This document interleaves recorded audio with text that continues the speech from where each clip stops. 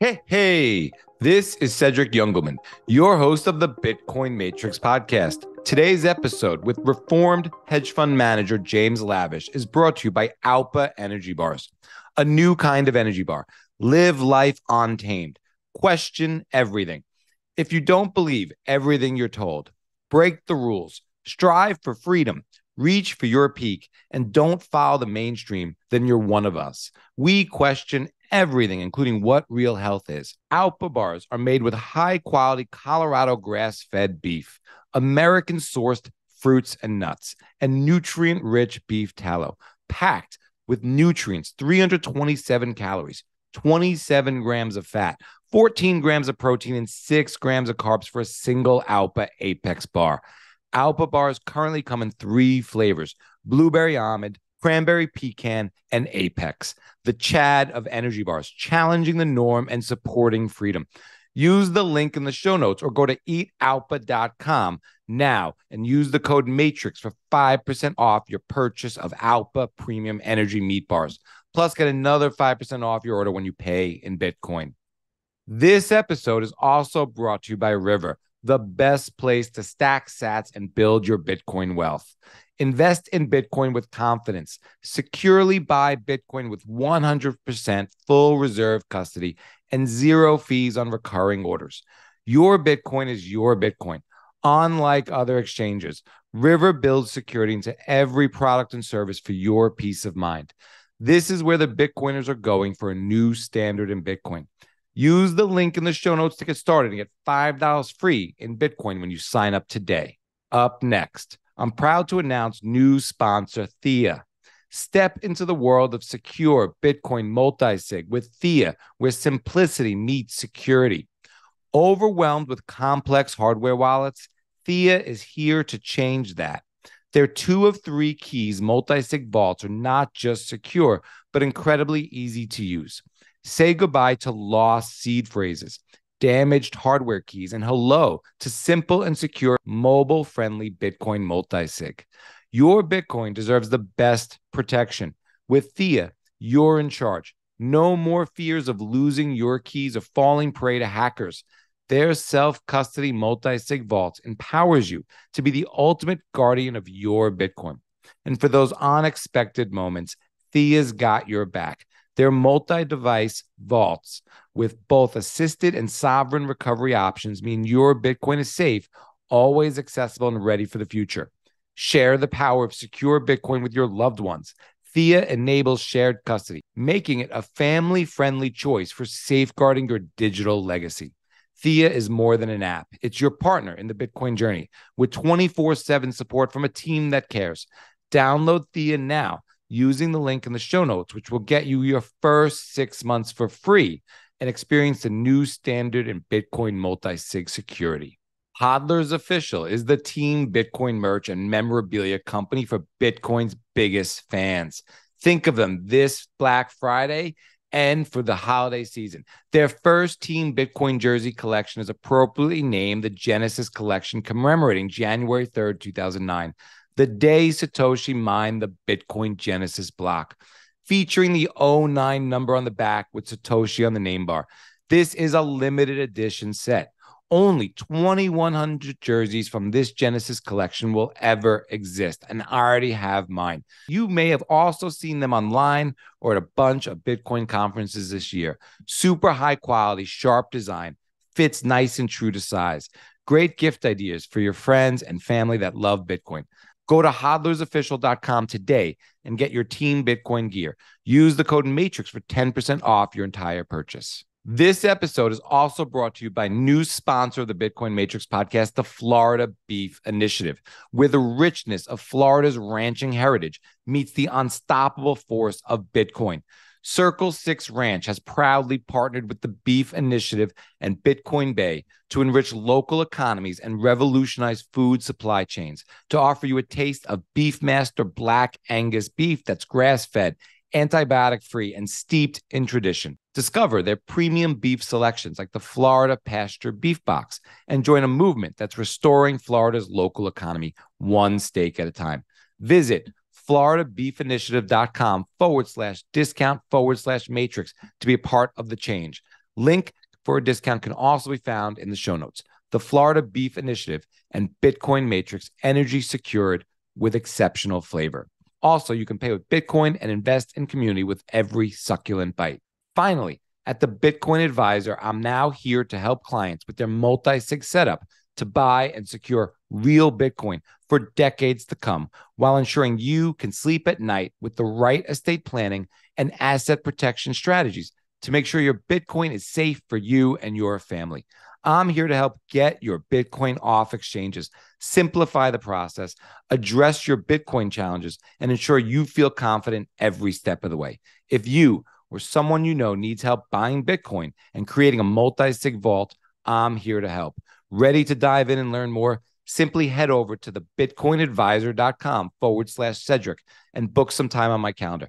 I'm more than happy to hop on a call and see how I can help. And now, let's enter the Bitcoin matrix for this fun rip with James Lavish, where he breaks down in a very simplified manner what the F is going on in the US economy, treasury markets, how the government operates, what exactly is a debt spiral, is the US already in one? And finally, are sports a waste of time? And an encouraging and motivating rundown of the 17 most important lessons that have carried James throughout his career and life. What is real? How do you define real? You can't jump into cash. Cash is trash. What do you do? You get out.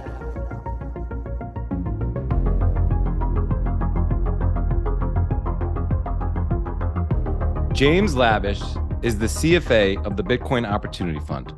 The former hedge fund manager has 25 years of institutional investment and risk management experience. For the past 15 years, the Yale and Cornell alum and former NHL draft pick was the chief operating officer and risk manager of LKCM Alternative Management LLC, a hybrid public and private equity hedge fund unit, investing in a wide range of industries and market capitalization of both public and private companies. Prior to joining LKCM, James was the co founder and managing partner of Ranger Arbitrage, a global risk arbitrage hedge fund. From 1998 to 2003, James was head arbitrage trader and served as an officer on the compliance committee for Carlson Capital, a $4 billion global multi strategy hedge fund. Earlier in his career, James worked in risk and ADR arbitrage for Citigroup and SG Warburg, where he began his career as a trader on the floor of the New York Stock Exchange. He is the author of the Informationist newsletter and a co founder of the economic and Bitcoin education group, The Looking Glass. James Lavish, welcome to the Bitcoin Matrix podcast. How are you? that all sounded like I have a ton of experience. I'm super important, but uh, the truth the truth is, I feel like I've just been in the trenches of finance for the last 30 years.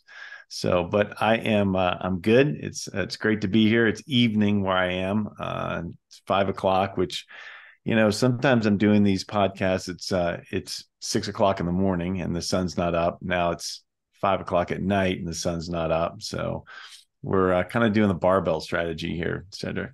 I hear you. but, no, burning the candle at both ends, uh, trying to get a lot done. Yeah, time is a.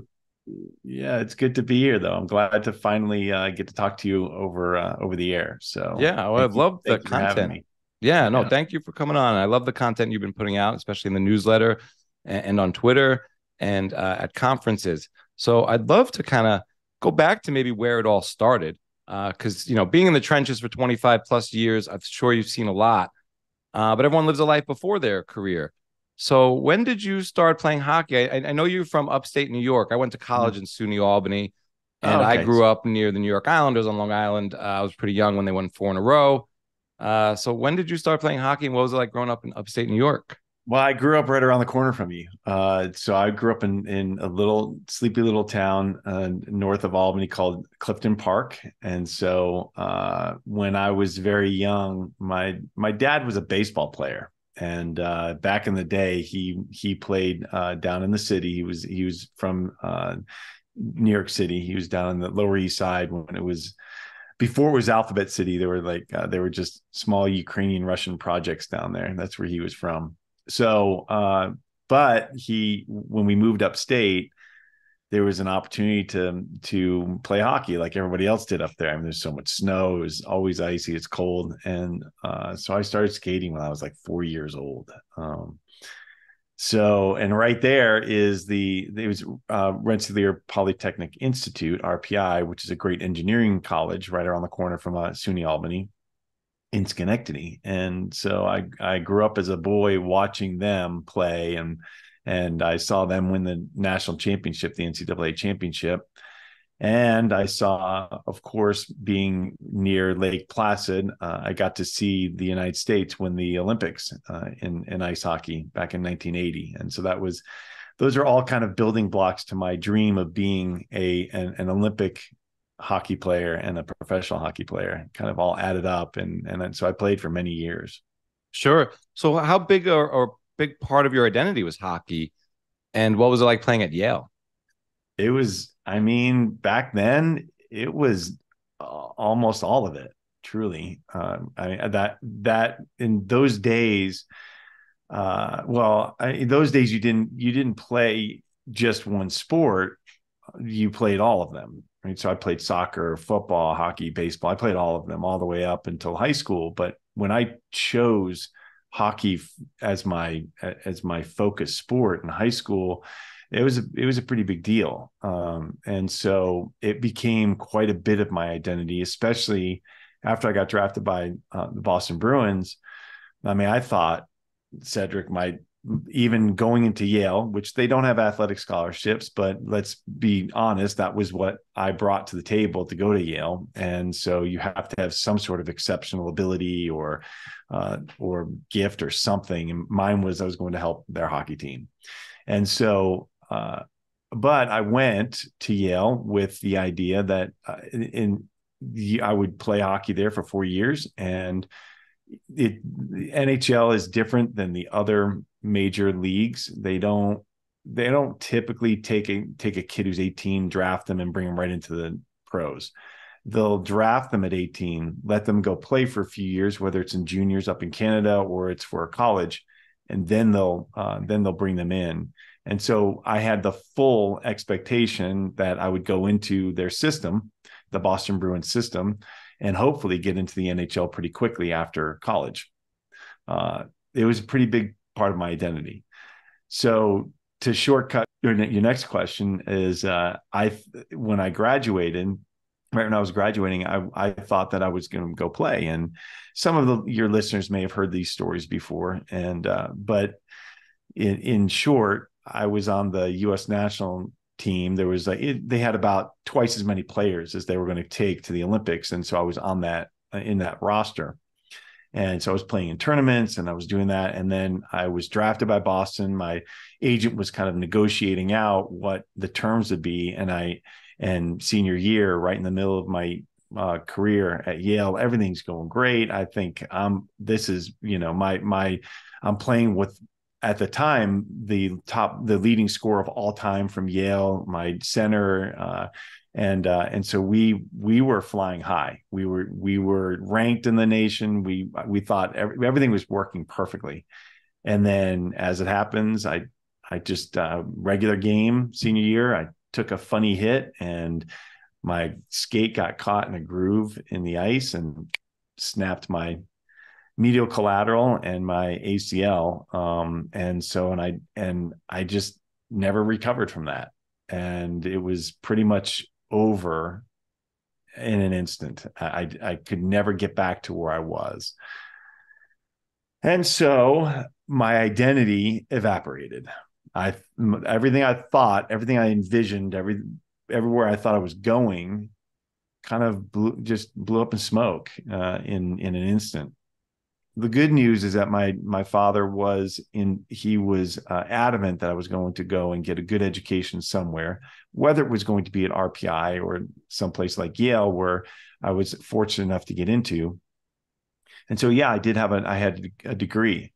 People laugh now because you come out of those institutions, you come out of those uh, those schools, those universities, or colleges with a degree, and it's not a degree that is really obviously applicable in anything unless you get a business degree, unless you go and do graduate work and get a law degree, or you go and get a medical uh, degree. So I came out with a political science degree, and I didn't really know what I was going to do. Uh, now, when when you leave a school like that, the expectation is when you graduate from a school like that, the expectation is that you've learned over the course of those years how to uh, how to critically think, how to step into a situation, uh, figure it out very quickly, have a have an opinion or uh, a kind of have a thought process around it that would be applicable and valuable. And and so that was what i was i was hanging on that hope that somebody would recognize I, I had the ability to learn quickly. Unfortunately, I, I went through a series of of interviews. It was in New York City. The long story short is I had been I had been effectively traded to uh, the New York Rangers and tried out for that team. I was nowhere near where I was going to have to be to be on that team uh, physically anymore. And so, and quite honestly, that team was exceptional and you know, so good. They went on to win the Stanley Cup. You remember you growing up there and being an Islander fan. Um, likely, right? You're an Islander fan. Huge Islander fan, but so that's the one sport I'm, I'm not on the same page with my dad, who's a huge Ranger fan, uh, born in yeah. Brooklyn, and yeah. uh, and uh, he was a fan of hockey before the Islanders were around. So I used to chant 1940 in his face all the time up until 1994 when when Messier brought the cup home. Right. Well, and then I mean, you know, so Garth Snow is one of the guys I played with on the on the uh, national team and against when he was at University of Maine. Uh, he played up there and and the Islanders, right? So anyway, uh, I I bumped around, asked some of my friends, some of the people who I, I had known in college, what they were doing, and they were history majors, English majors, and they were all on Wall Street and I was, and I was, I was kind of surprised by that. I didn't realize that that was the path to get on, just to get into that world. And the path was not to you did there was no business degree at Yale. You could have studied economics, which I which I basically minored in economics there. Uh, I had to make a choice. There was a dual degree, and that's what I was going for. And then they took it away in the middle of my um, Yale career, so I had to make a choice. I had more credits already in political science. I finished out there, but I still took some uh, econ. Anyway, so uh, yeah, I, I got I I was fortunate enough to to get introduced to some people that were looking for young uh, graduates to start a, a, new program at at SG Warburg, and I, I, got hired. And my first job, as you detailed, was a, a clerk as a clerk on the floor of the New York Stock Exchange. And so that means that I was doing anything from uh, actually helping trade ADR arbitrage on the floor of the New York Stock Exchange to getting coffee for the senior clerks and the traders on the floor. And so that was my first job. Kind of a baptism by fire, dropped into the floor of the New York Stock Exchange. It looked exactly like it it, it does in the movie uh, Wall Street, the first movie. It's uh, where it's just absolute chaos. It's yelling. It's madness. There's paper flying everywhere, and uh, it's intense. That's what it was like back then. And so, yeah, that was my first job um, coming out of coming out of college. Well, that's awesome. Uh, I want to break down a little bit here. So, you know, I've met some other Yale athletes, um, and it's almost like an academic army what Yale puts out there. Because um, the, the people I've met are uh, exceptional athletes, but then go on to do exceptional things outside of athletics, mm-hmm. uh, beyond, uh, yeah, whether it's Wall Street or Hollywood, uh, producing movies or things like that. And so I'm kind of curious. And what I, what I also find is a lot of student athletes or just athletes in general are yearning, whether they end up finding this or not, like to be in a career that reminds them of sports, maybe like being in the moment, something fast twitch, something that's you yeah. know you, you live in the moment, you think and you react and and you play on uh, and you have other players. So uh, I'm wondering what it was like for you to transform yourself into a hedge fund manager, because uh, you know there are different ways to be in finance, whether it's FP&A and maybe you're a spreadsheet jockey. Uh, and maybe you go to weekly update meetings. Very different from being on the New York Stock Exchange floor and being a trader in the pit. Um, yeah. yeah, so uh, it's a really good uh, point. And for me, so some of my friends uh, who were not hockey players, uh, they, some were football players, and uh, you know, and, and, they did some various things, but some of them went into the investment banking side, which was a lot slower twitch, very intense, uh, long working hours, and uh, and some pre- some pretty uh, good pressure for that for that age but for me i stepped onto the floor of the new york stock exchange. It was it was almost exactly like being stepping right back out onto the ice. It was super fast paced it was very high intensity. Uh, you had to work really quickly with people around you um, and uh, and it was really it was kind of like i had a coach uh, who at union college uh, who used to say uh, his his mantra was read it, it would be read react adjust read react adjust read react adjust. And that's kind of the way it was down there. And it and it wasn't as much and and it and this kind of carries through my entire career it wasn't as much um, about how what decision i made. It was almost more important how i reacted to the outcome of that decision.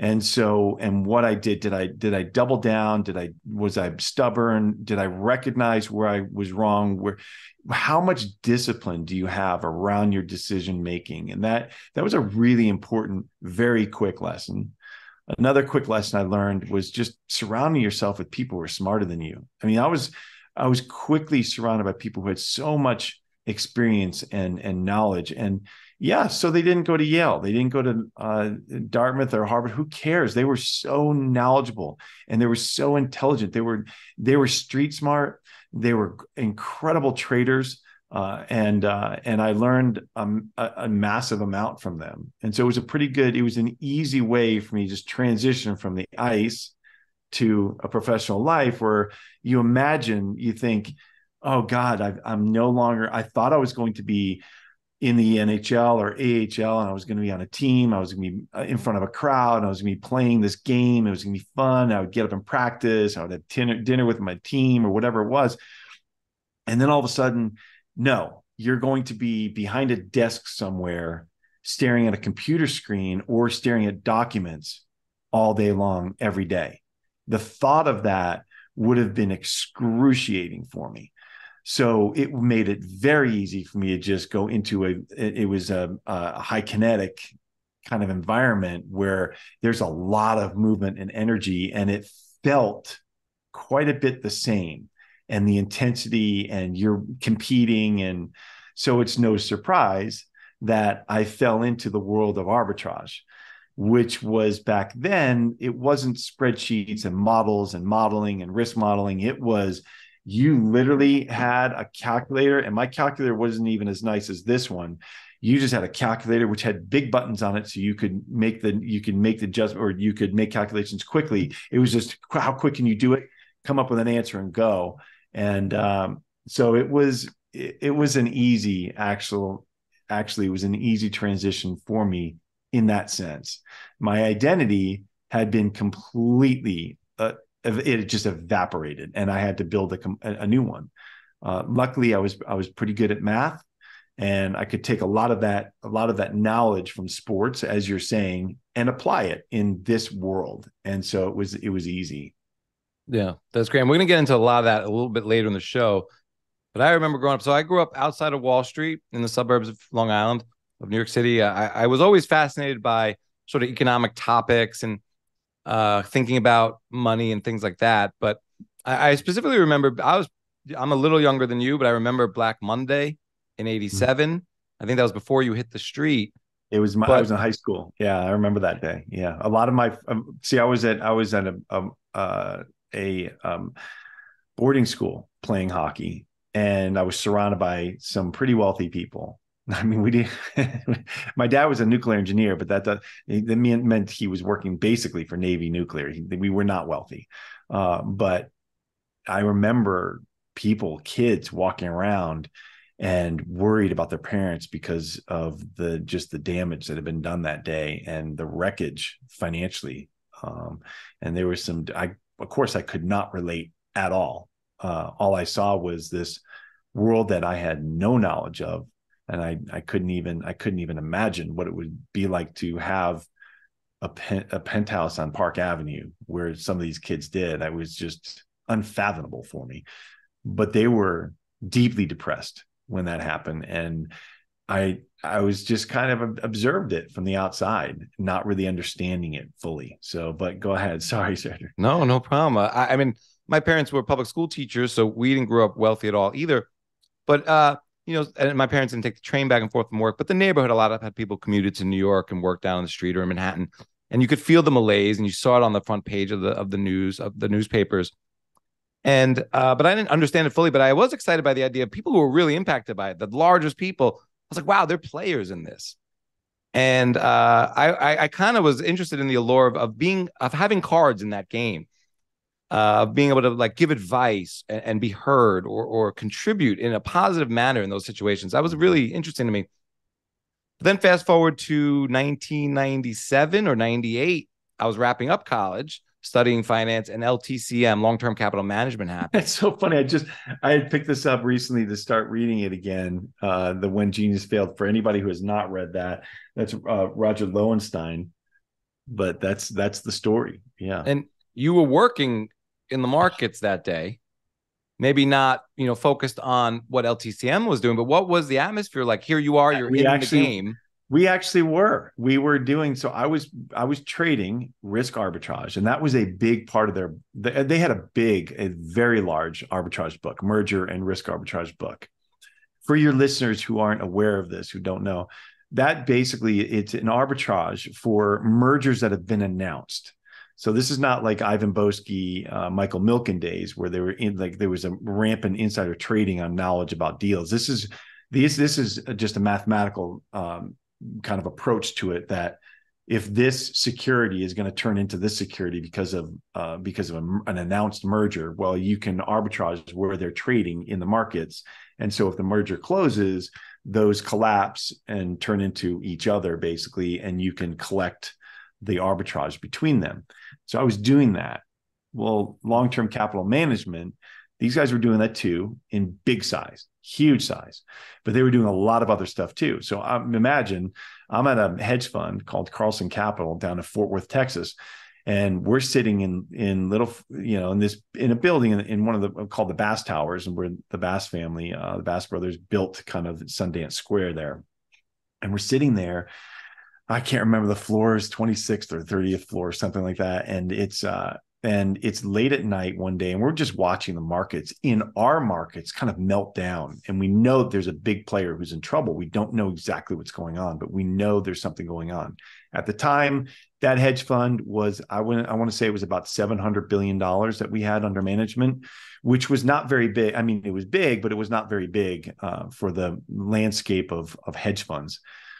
However, we had great relationships across the street, and and one of the largest hedge funds in the world was in Dallas. We got a call from them, and the one of the managing directors there, he was like, "Hey, do you guys have exposure to uh, to Goldman?" And so um, we're and we did not. Uh, we had some counterparty risk with with uh, swaps and derivatives, but we we weren't using them as a prime broker.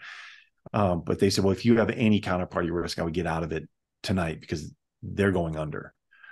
And so we were kind of on the inside line there. We knew that there was something going on that the head of Goldman was meeting with the with the head of the New York Fed and they were trying to iron out some sort of rescue plan.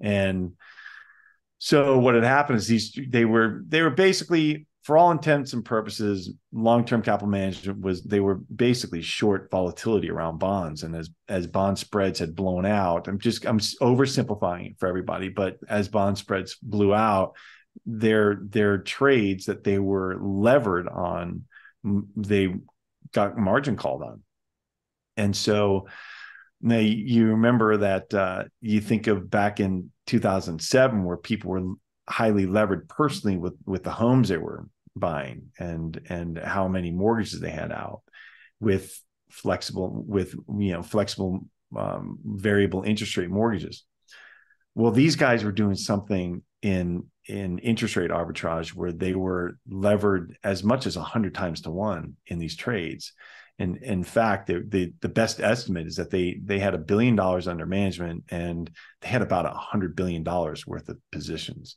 And so as these things started blowing up, it threatened to take down not just them and some of their investors that had money with them and some of the counterparties, but it threatened to take down major investment banks. And if it had taken down Goldman, it would have been catastrophic for the street. And so the New York Fed came in and engineered kind of a rescue for them to make sure that they didn't fail. And uh, and so that was there was that was a pretty big wake up call for me. I was a I was just a few years in, and now heading up an arbitrage desk, uh, trading desk at Carlson Capital, and I was it was uh, it was ba- another baptism by fire, and man, risk happens fast, as Greg Foss likes to say. And we actually, he and I talk about long-term capital management quite a bit because it was a, it was a, it was very uh, impactful to our our knowledge and our careers. Yeah, I found it very impactful as well. Just to my academic studies, we spent a lot of time discussing it, and uh, I remember just coming away from it very jaded. Um, it was the first time I saw like a rescue plan put in place uh, for the losers, essentially. Uh, yeah, I mean, if you think if you think about it, so if you go back, it actually starts in 1987, right? With Alan Greenspan comes in and Black Monday and the market uh, just is decimated, and he steps in and he and he uh, kind of he placates the market. He said, "Look, we're going to do whatever we need to to make sure that this market doesn't collapse. We've got your back." and that was like, and so everybody, so the banks were turning, they're okay, with okay, we're okay, and so that led up to that 1998 situation, which again they got bailed out, which leads to the 2000 tech bubble, which then leads to that the bailout there is it wasn't really a bailout but that that kind of set the stage that if the if if the markets can't collapse really 1998 was the major stepping stone there where it was okay not not not just words now. We're actually going to step in and help engineer a, a rescue even though it's not as though the fed printed a bunch of money to rescue them they did engineer it and so they got the they got the other banks to come in and rescue them. So okay, so they held the market strong, everything's good. It comes right back. We have the 2000 bubble, that the the tech bubble burst. Then you flash forward and you have 2007, 2008. You've got the great financial crisis, and now now we we we know that well, the Fed's going to save us, right? I mean, not me. I wasn't involved in that world, but the big banks Wall Street was like, well, the Fed's going to save us. And they did. They bailed them out. They bailed out the banks. Those guys went home with huge bonuses, the ones who didn't go bankrupt. Right. And so that's where it all started, though, back then. And then you just flash forward and you go all the way to 2020. And here we are again. Even though we you know, we've got this virus that that's people are starting to hear about and and they're and I mean I heard about it in in December January. I was talking about it months before it all collapsed because we were we were hearing stuff about it on the street but people just kind of ignored it. They ignored the risk. Of course who could have seen i don't want to get into covid because what a nightmare that was but who could have seen all that? Fair enough. But man who could have seen the fed printing trillions and trillions and trillions and trillions and trillions of dollars to come save the markets on a v recovery like that wow what a moment so here we are. Here we are with all that leverage kicked up to the to the sovereign level, and we're all standing around wondering what breaks and when and how bad is it? Because you know it's it's it's far higher than a non-zero probability that something some sort of credit event ha- happens again we we we're you know we're goldfish we're dumb creatures we have very short memories. So we don't and the ones who do have memories they're emboldened by the fact that well the system will save us. It's okay. We're on the right side of it. We're on the fiat side. It's okay.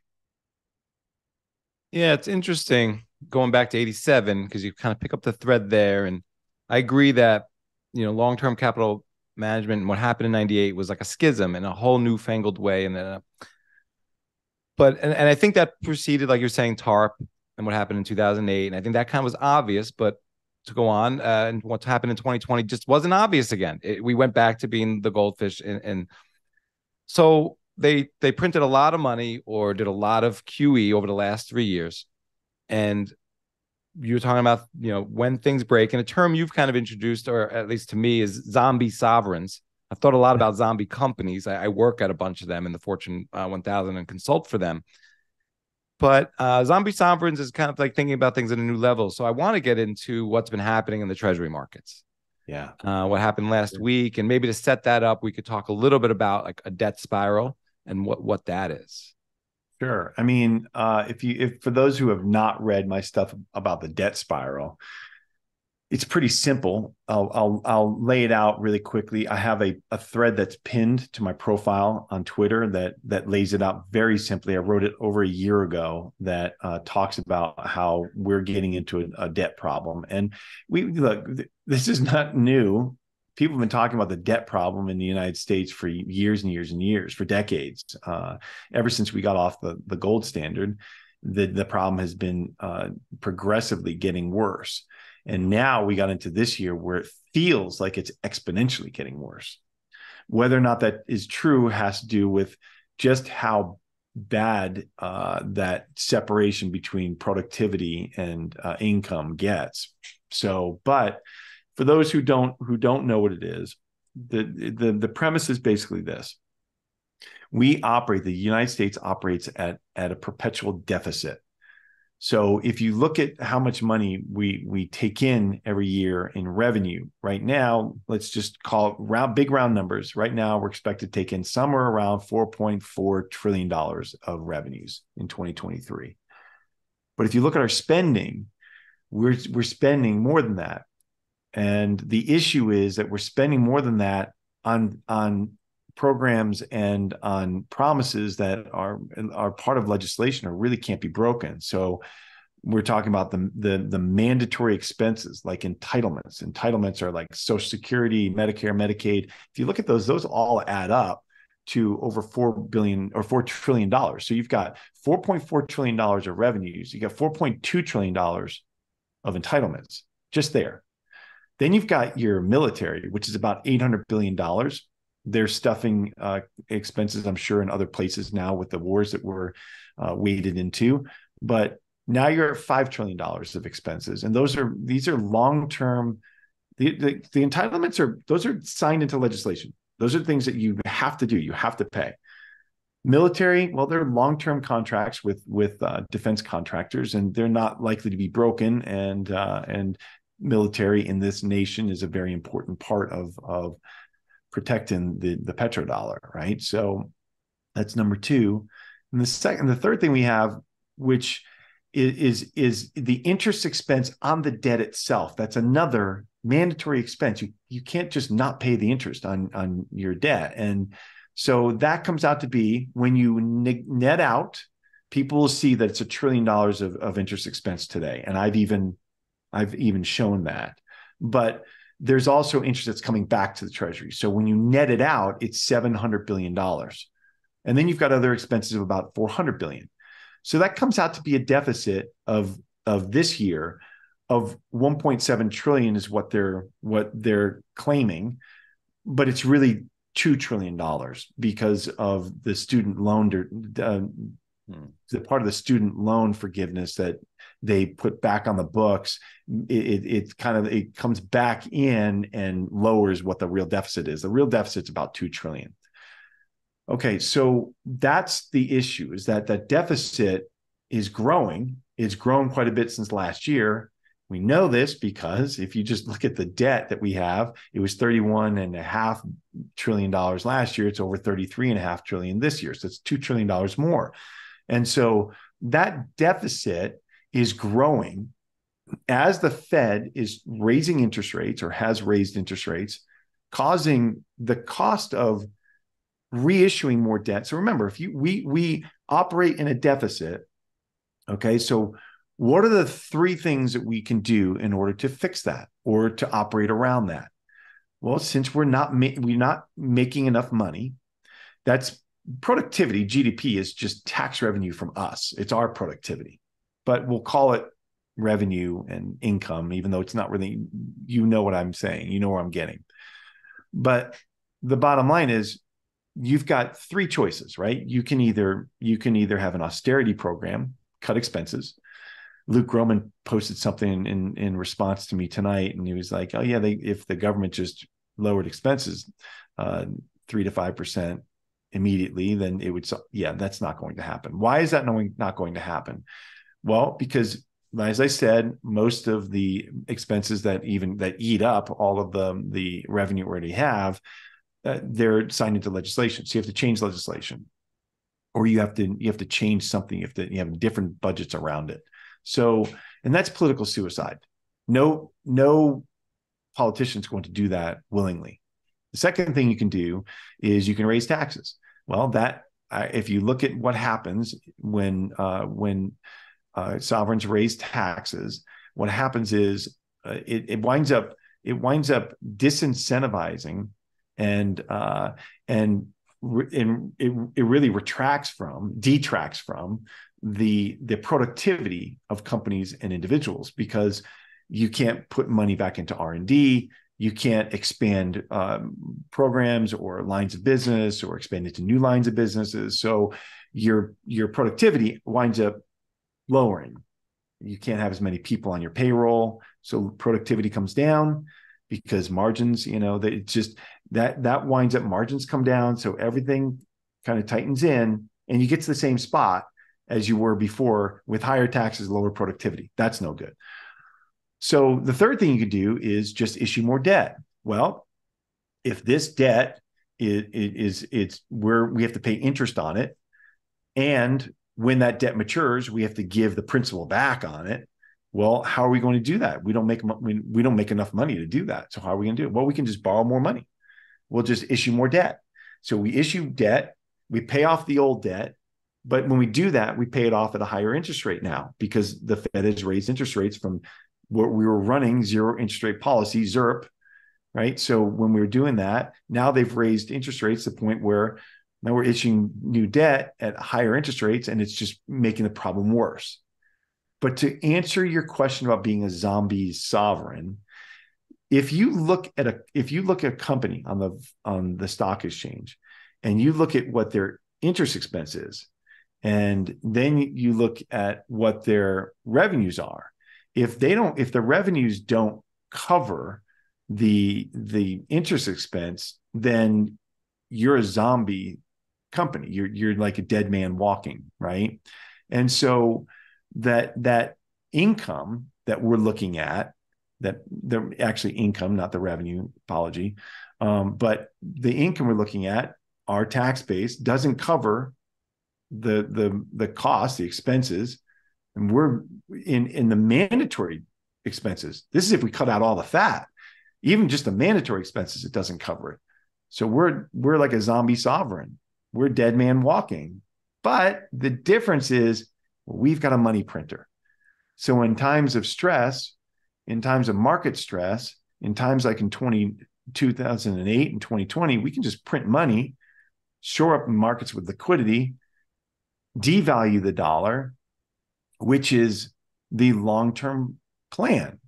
And nobody talks about it in the government or uh, in you know in in the central bank, but and in the treasury. But the long term plan is to have have perpetual high rates of inflation because as you have higher inflation, your productivity inflates on in nominal terms you know so the dollars are are cheaper you're making more of them but you're paying down this debt that you issued back when the dollar was stronger so now you're it's kind of a game that you're playing where okay cedric if i if i uh if i said hey um i want to i want to borrow a hundred bucks from you right and uh and you're to loan me a hundred bucks and then I'm to pay you a hundred bucks in 10 years plus, you know, 5% interest on that over the course of the, of the 10 years. And you you get that 5% interest throughout that time, but then you get the hundred bucks back in 10 years, how much do you think that 100 bucks is worth? It's worth nowhere near what it was when I borrowed it 10 years ago, right? So that's the game we're playing.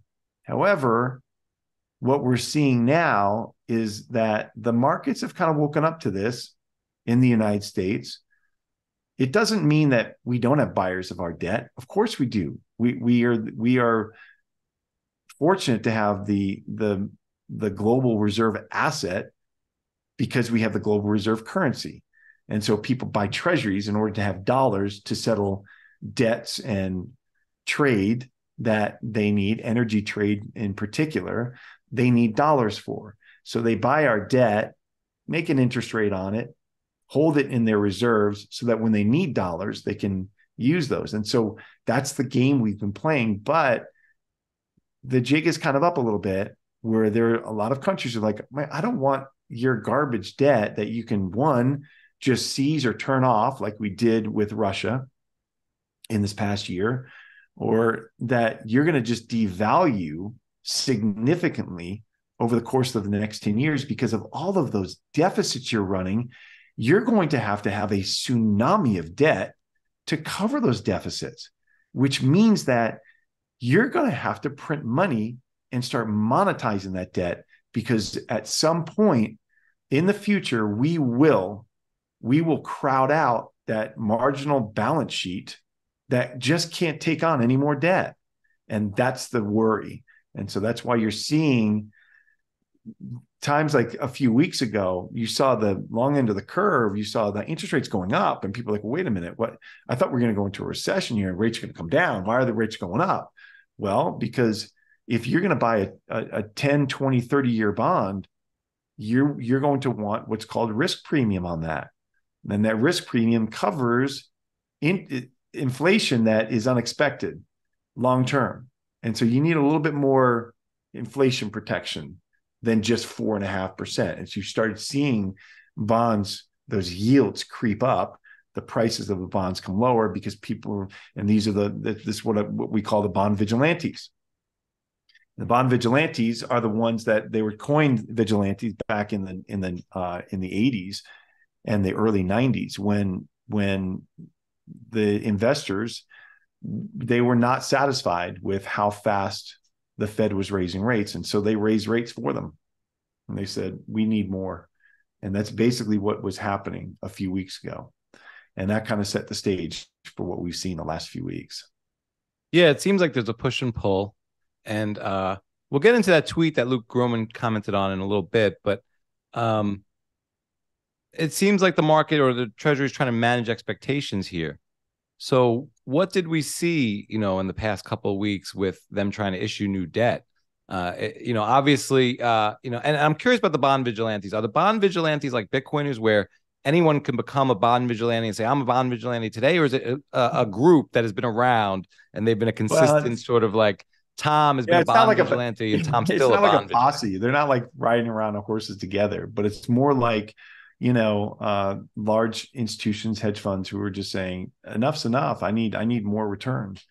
I, I don't have spot on my balance sheet for this. I don't have spot in my I, i'm not going to allocate to this. At this level i need more return for this. Um, and so that's what that's what it is. And so they're called vigilantes but you know um, they're they're they're probably uh, most of them are riding solo. Um, so so what happened was well as interest rates are going higher a couple weeks ago, you have a, a Fed meeting, right? And so every time the Fed speaks, everybody listens, especially if there's a rate decision. Well, there's a rate decision coming, and so everybody is like, "Oh, rate decision, rate decision." Well, that week, a couple weeks ago, the, the Fed's thunder was completely stolen, and so nobody was talking about the Fed. They said, "Oh, they're not going to raise rates." It's obvious they're not going to raise rates until uh, unless they see something bad happen between now and, and December. They're not going to raise rates at this meeting, so they kind of ignored them and they keyed in on the Treasury announcement. So, what was the Treasury announcing? The same day that the Fed was announcing their their rate decision, the Treasury was announcing their fourth quarter funding, and so they have to. It's called their their refunding, and what their plan is to fund the government, the deficit for this next quarter. And so they announced that they were planning to borrow $776 billion which ended up being a few billion dollars less than the market expected. Number one. Number two, they announced that they're going to borrow on the short end of the curve and not be trying to issue, uh, you know, many 10, 20, 30 year treasuries. They're going to be issuing uh, more on the on the T bill side, very short issues. We'll get into that why in a minute. But the market was ecstatic. They love this. They said, "Oh, this is brilliant." The uh, the Treasury understands they shouldn't be issuing uh, long dated treasuries. They're going to manage their expenses, and the Treasury's not going to manage expenses. It's not the Treasury's job to manage expenses. The Treasury's job is to manage the amount of money that Congress and DC is spending. Whatever they're spending, the Treasury is, is the enabler. They're they're out there borrowing and managing that balance sheet in order to make sure that they can keep that whole DC system going. So, uh, but anyway, so the market kind of rallied. And they were they were all they were they were pretty they were pretty excited about it, and uh, but there were a few things in there that kind of caught me and, and made me step back and think, well, that that's interesting. They put this in the re- in the release, right? So the first thing was the Treasury said they they announced in the release that that the primary dealers were were getting they were they had a high degree of uncertainty around the deficit and, and growth forecasts. And so that was like, oh, okay. So it's interesting that the the the dealers, the primary dealers, these are the dealers that they're they're effectively the auction houses for these auctions where the the treasury wants to auction the stuff off and they're out there peddling it and, and they're they've agreed to buy a certain amount of it uh, when the auction goes through and whatever's left over they'll take it and then they'll resell it uh, later uh, to their to their customers their investors later so that was the first thing second thing was uh, they said that the the this is normal. The Treasury anticipates that an additional quarter of increases uh, will will be likely. Yeah, of course. I mean, we're running two trillion dollar deficits. It's likely that you're going to need to to borrow more. Why? Because it's not just the deficit you're you're you're funding. You're funding the the maturity of other issues. You know, as these as these bonds mature, you've got to fund that. You've got to get principal to fund that. Now, a lot of that will come back in for that for the very bond that you're issuing to to cover that maturity, but that's kind of the way it works. So, and then the third thing was that they they they said that the Treasury said that they continue to make progress on on uh, implementing a uh, what they call a regular buyback program for 2024. Okay, so this is this is something that I've talked to other uh, uh, investors and economists about and there's there's two ways of thinking about this that i've seen. And one way is thinking that oh this is typical that the treasury will buy uh, like for like uh, bonds in the market from these dealers in order to make sure that they have liquidity because these are bonds that don't trade much. So if the dealer needs to get some cash they can they can do it that way. Um, that's one way of thinking about that. That's typical well, another way of thinking about it is that, yeah, but we've never seen this program be in, introduced while the bonds have sold off so dramatically. And there's such a big separation between par value and market value in some of these bonds. I mean, if you have a 30 year treasury, that this could have that this has basis basis risk that goes all the way out, uh, however many years are left until that bond matures. So, um, but they're talking about in essence you may you may already know this cedric but when when uh, they're they're called off the run treasuries. So off the run treasuries are back in the day back when i started you'd walk into a bond desk and the bond traders had these big stacks of paper and there were these huge reams of paper that dot matrix you know and they would just flip through and look at all the bonds and look at pricing there on the bonds and see where they should be priced. Well, if the if a bond wasn't on that sheet, because we didn't have computers like we did, we weren't surrounded by computers. The bond traders had stacks like it was an, it was pretty inefficient compared to today, where they were just on the phone, piece of paper, making bids and offers according to that, according to that morning's run. Um, so, but if it wasn't on that run, if it wasn't on that in the in that in those sheets, it was called off the run. So it meant that it was pretty illiquid. It didn't trade very much. So you were like, mm, I'll, you know, you could make up the price, whatever you whatever you felt comfortable with. Typically, that meant a higher margin for for security. So you're like, okay, if I'm going to buy this from you, I don't know where I could trade in the street because it's it's not even on the run here. It's something that people don't trade. You know, it's like an like uh like Natalie Brunell. I was talking to her the next day after all this was happening. She made the pretty good analogy if it's like a baseball card that just isn't traded in on in the uh, circuits, and that's it's it's fair. Yeah, you don't know where it should be priced. So that's what they're talking about doing. And to me, that sounds like it's it, it sounds very much like uh, stealth QE or yield curve control, where they can just decide where they're going to inject liquidity in spots for dealers who need it in uh, at prices that make sense to make sure they inject enough liquidity into them into the markets to keep them going. That's the way I see it. And so it remains to be seen exactly what that program is detailed to be out. But I'm aware of it. We'll be watching it and seeing exactly what what comes of it. Um, but that's that's what it seems to be to me on the face of it. So that kind of sets up everything for well, the market's happy. It sounds like the Treasury's got their got their uh, their house in order. They're going to keep borrowing on the short end. Why are they doing that? Because they can issue T bills and there's a lot of money sitting in something called the reverse repo facility. This is all the excess cash that's sitting on uh, major banks' balance sheets in, in, their treasuries that they they need to do something with. So they're and uh, but they can't buy any more treasuries with them because it it it trips their uh, leverage ratios, right? So they they have to make sure that they keep very liquid. And one of the things they can do is they can take that capital and park it overnight at the Fed at something called the reverse repo facility. And it's effectively getting the overnight rate close to it uh, within a few basis points and uh, and getting return for that capital just sitting there. Now they can take that money and buy T bills because those T bills will be they'll they'll mature in just a few weeks or a month or two, and they can get that money back. So that's kind of it's allowed within those ratios, and so that's what they've been doing. Is the Treasury has been issuing hundreds and hundreds and hundreds of billions of dollars worth of of T bills and that and just a little bit better rate than you're getting at the reverse repo. And they're kind of they're kind of teasing that money out of that reverse repo facility. You can see it's been happening for months because the reverse repo during 2020 2020 and 2021 when these banks were flooded with capital from the QE well it got up to be 2.4 trillion dollars 2.5 trillion dollars sitting in there. I, I don't remember what the exact top tick was 2.6 trillion but around 2.4 trillion dollars has been sitting there for the last for going into this year. And then we hit the we hit the debt ceiling crisis and the treasury they well you know congress solved the debt ceiling crisis by kicking the can down the road and saying well we don't have a ceiling yet. We'll talk about that later and so the treasury said okay so we can go ahead and keep borrowing and they flooded the market with T-bills.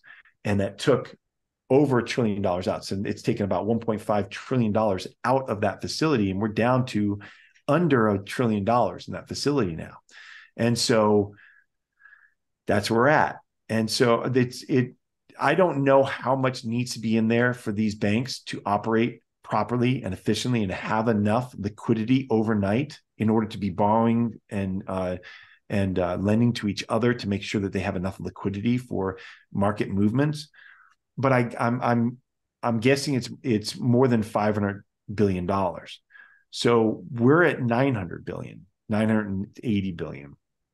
There's not that much left in there, but we'll just put that over there. But this is this is what they've been doing is they've been borrowing on the short end and they said that they're going to be comfortable doing that they're going to be comfortable with issuing more t-bills than normal a higher ratio of T-bills than normal, which the ratio is supposed to be about 15, 20%. Well, they're way above that. And they said they're they're happy to do that for a while.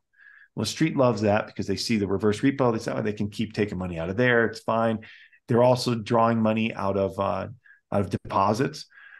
So if you have a deposit in the bank, rather than just leave it the, as a deposit in the bank, you can put it in a money market account, and so that will uh, buy T bills, and so that that money's moved over as well. So you've seen deposits draw down, the the reverse repo draw down, and that's paying for these T bills. So, and people who are sitting on cash, like me in my IRA, I'm in T bills. Why? Because it's a it's a great way to to get a a, a good return and without um without almost any uh, basis risk, interest rate risk. Interest rates can go up and down. I'm going to get paid my, you know, my interest rate uh, for that, my annualized interest rate from month to month. I've only got one month risk. It's not that big of a deal. So, so they've been doing that. The question is how long they can do it for, and that brings us to what happened last week, which is when they had that 30 year bond auction that was announced in their fourth quarter funding, the $24 billion bond auction. I'm sitting there on a call with uh, with partners for uh, an investment in my hedge fund, and uh, and I'm and these messages are popping up, and I'm getting questions uh, from people uh, who are like, you know, what what is going on with this bond auction? Did you see this? Did you see what's going on here? And uh, I was like, the bond auction. Oh God, the 30 year bond auction is today. And I took a peek and I and I instantly was I just I I couldn't even believe it. I was like, what? What that can't be right. That's like that is a, that that is absolutely terrible. It's a terrible auction. And so for your listeners to break it down quickly and easily, uh, basically there are a few things, and I've got a, a I've got a thread, my newsletter. Um, it walks through all of this super simply um, but you can you can find those on my on my uh, profile. I, i've written threads about them. But basically when you look at a treasury auction the way it works cedric and you know this but again for your listeners is it's like they're um, it's a dutch auction. And what that means is so if you're an investor and you want to participate in that auction, you want to buy some bonds, then you put in the amount that you're willing to buy at what interest rate. And so the the treasury then has this this run and, and on their you know on their sheets and their model they could see how many bonds are bid for each level of of of uh, interest rate for each level of yield. And so and they'll look at that and they'll make a they'll they'll say, well, if we need twenty four billion dollars, well, all anybody who was willing to get a yield from all the way below up to the yield that we need to give them in order to soak up those 24 billion dollars well they'll all get that top yield. So that so that's the dutch auction. You're, you're making a bet that so if you say well i'm willing to buy $10 million with a 4.7% yield. And the yield comes in at well they needed to they needed a 4.75% yield to get enough capital. Then you'll get 4.75 you'll get filled for your 10 million. Somebody who wanted 4.8 they wouldn't get filled. So that's the way it kind of works right? So that's the auction and the system. And then when you look at who goes in there you've got your your direct bidders which are they're both your individuals who are just going to get if you're an individual you're like you or me you get into treasury direct you can try to you can enter the auction uh, and you can say i want to buy a thousand dollars worth of bonds and they'll give you a thousand dollars worth of bonds um, at whatever price it ends up being. You would get that 4.75% you don't have a choice. You can't say oh i want to buy $10000 worth of bonds if it's 4.8, you don't get that choice. Only the institutions get that. But so you've got the institutions and individuals; those are the direct bidders. Then you've got your indirect bidders, which are the uh, which are international buyers, and then you've got your primary dealers, who are the auction houses, basically. And so when we look at the with when you look at this auction that happened last week, the the bid to cover, which is the total amount of bids to cover the auction, came in at about 2.2, 2.24, okay, X, which is 2.24 times amount of, of bonds were bid for than what the Treasury needed. And that number, it's a pretty bad number. in, in an auction like this, it should be more like 2.2.4 2.5, somewhere around there. And Nick came in at 2.2. That's pretty bad. So that's the first thing. The second thing is that the the foreign buyers just they just evaporated. So, like in the beginning of this year, we had an auction for 18 billion dollars of, of 30 years, and the the foreign buyers there was there were 75 percent of it. Last month there was 65 percent of it. This month there was 60 percent of it. So, what does that mean? That means that the deal. So, when you add up the direct bidders and the indirect bidders, that only came out to be about 75 percent of the auction which left set with which left 25% of the auction that was dumped onto the direct the uh, the primary dealers.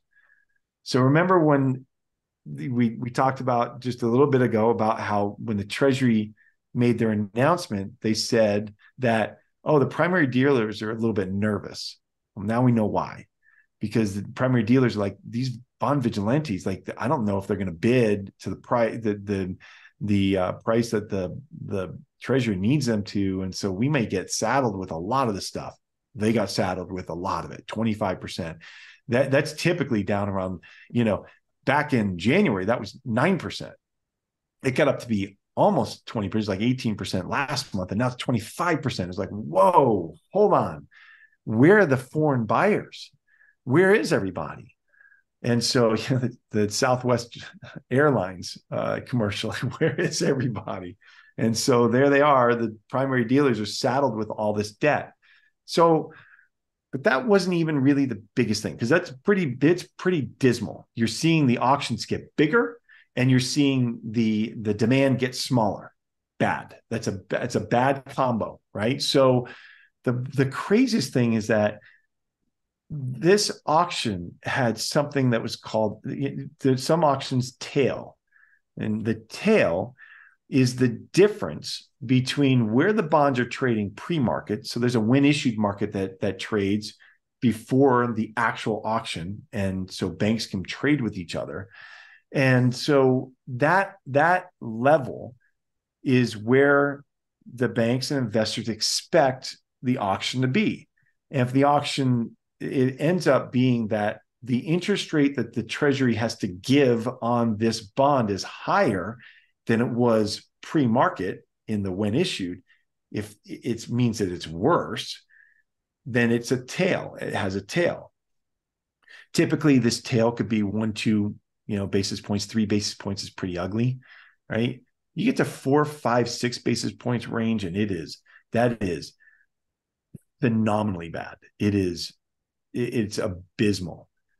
This auction came in at 5.3 basis points tail, which is just absolutely mind blowing how bad that I it, the, this is the worst tailing auction to give context around it Cedric this is the worst tailing auction we have seen in this in this issue since 2011 that's when the S&P downgraded US debt for the first time, US debt got downgraded.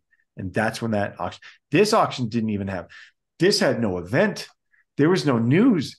There was no, like, it wasn't like we had some sort of, uh, you know, uh, credit event where there was market meltdown possibilities and there were, there was contagion and there was nothing. It was just a really, really, really, really, really ugly auction, really ugly. So the market reaction was kind of fitting because number one, the the first thing so some people started talking about well there was there was a wasn't there a malware attack? Like a so something happened out in uh in China and okay the answer is yes.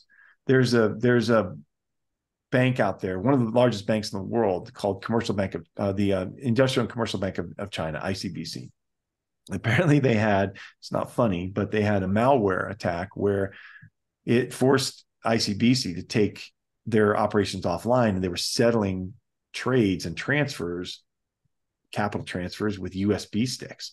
They're actually physically running around with them back and forth from desk to desk and around the cities with them because of this malware attack. They couldn't switch their uh, their systems on. So people are starting to claim that right after this auction, people were claiming that, well, that disrupted the auction. That's why the participation, the international participation was so bad. But uh, when you look at it, apparently, and this is uh, this is from an article that I read in Bloomberg, is uh, the the the unit in ICBC that deals with the U.S. Treasuries in in, in is only 24 or 23 billion dollars of total assets. So it's way too small to have had a material impact on this on this auction. I mean, it just doesn't make any sense. I mean, even if they were they were 10 if they were trying to bid for 10 I mean, how much were they trying to bid for? 10%? No, no way. So not likely. So, and then to cinch that up, Yellen was asked about it herself right after the auction and or that night Friday and she said no we haven't seen any impact on the treasury market or or the auction from that hack so that kind of you know that, that kind of covers that. I don't believe it. So what was the action the the the market reaction to it? Well not surprisingly other investors saw this and said holy shit what just happened? And the US treasury yield moved over 4% in it's like 4.3% in a matter of hours and most of that came in just a few minutes. This is a this is a US treasury okay this is the the the global reserve asset the most pristine security in the on the on the planet. And it, it is trading like a tech stock. And you're watching these yields and it hasn't calmed down. These things have been trading up and down 1 2% yield daily. And so is a this is a kind of a heavy market reaction, but fitting because of the just the nature of that that auction was so ugly. And if you look at the the price action across the entire spectrum of treasuries, it was it was it was basically the worst daily loss since May, and so it was pretty bad.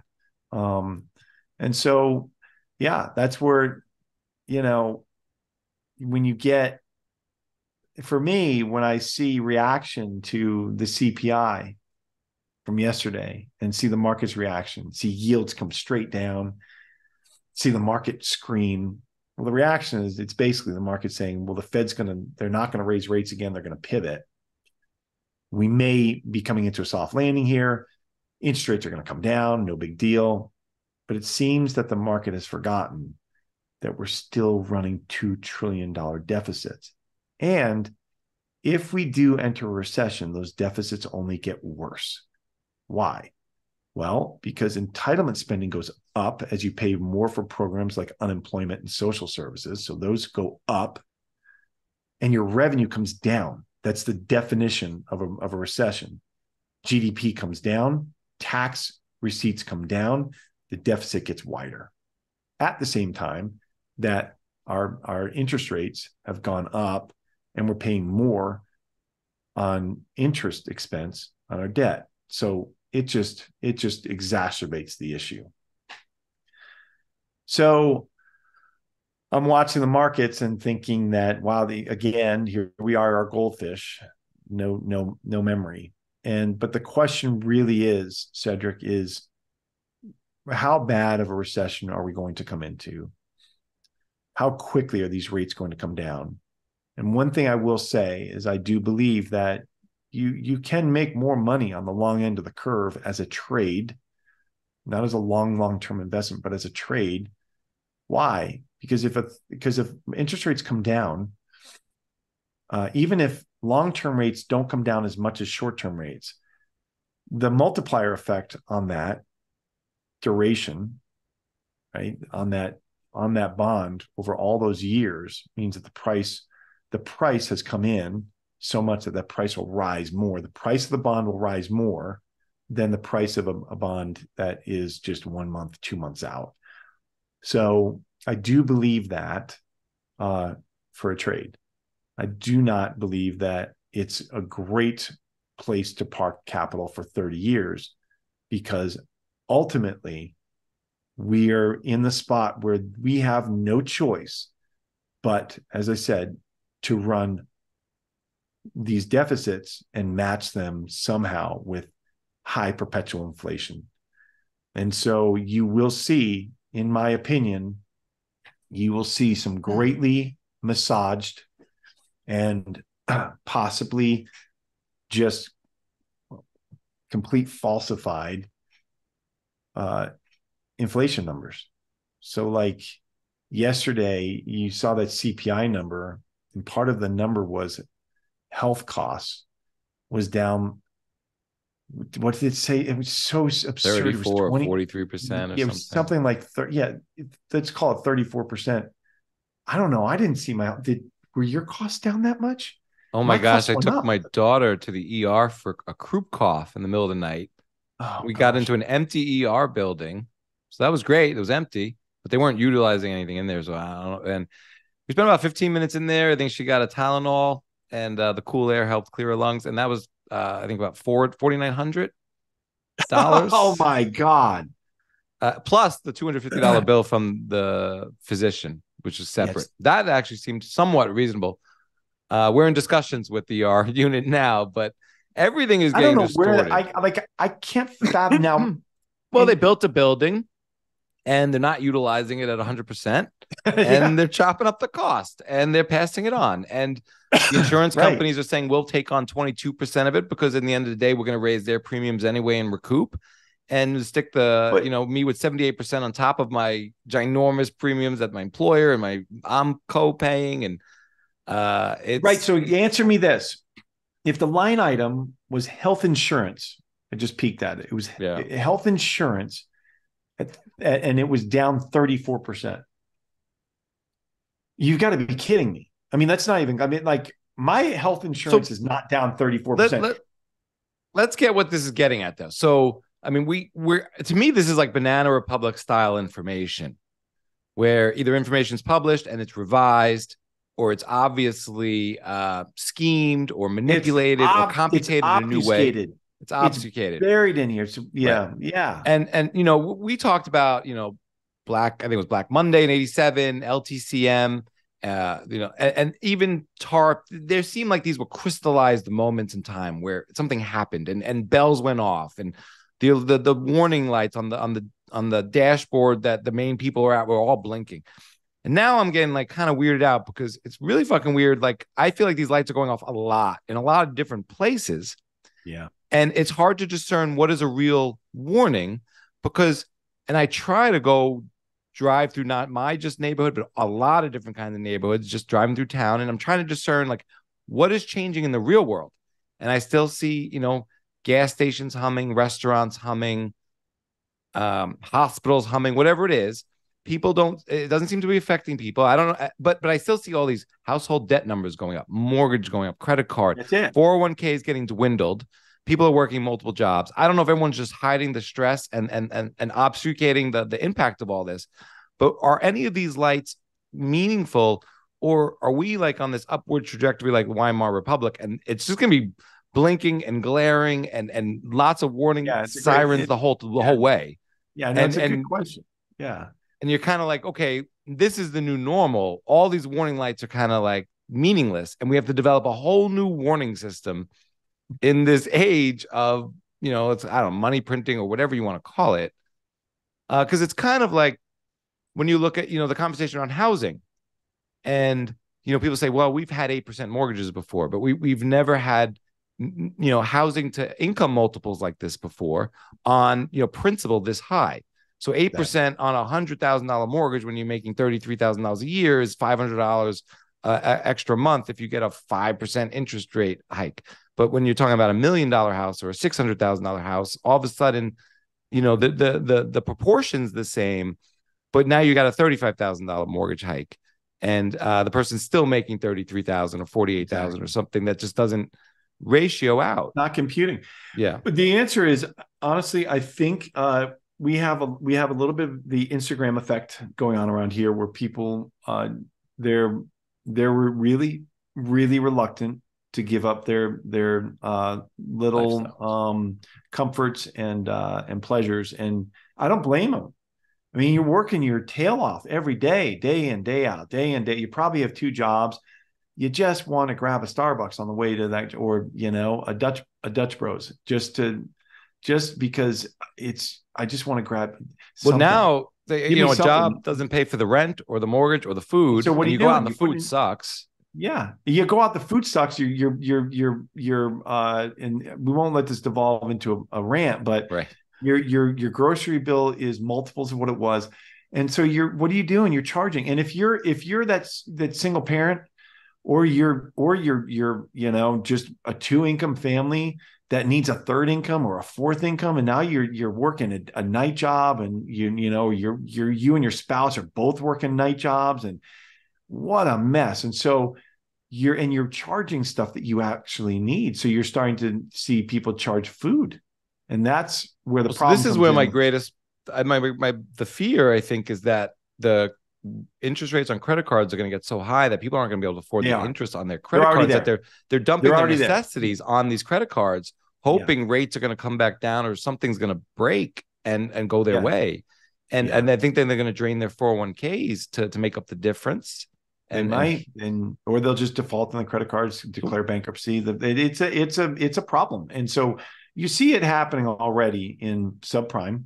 Okay, so remember when when so when the government pushed out these stimulus checks, one of the effects of that, Cedric, was that there was a whole there was there's a whole slice of of demographic that graduated from subprime into just you know low credit because they suddenly had all this money in their account.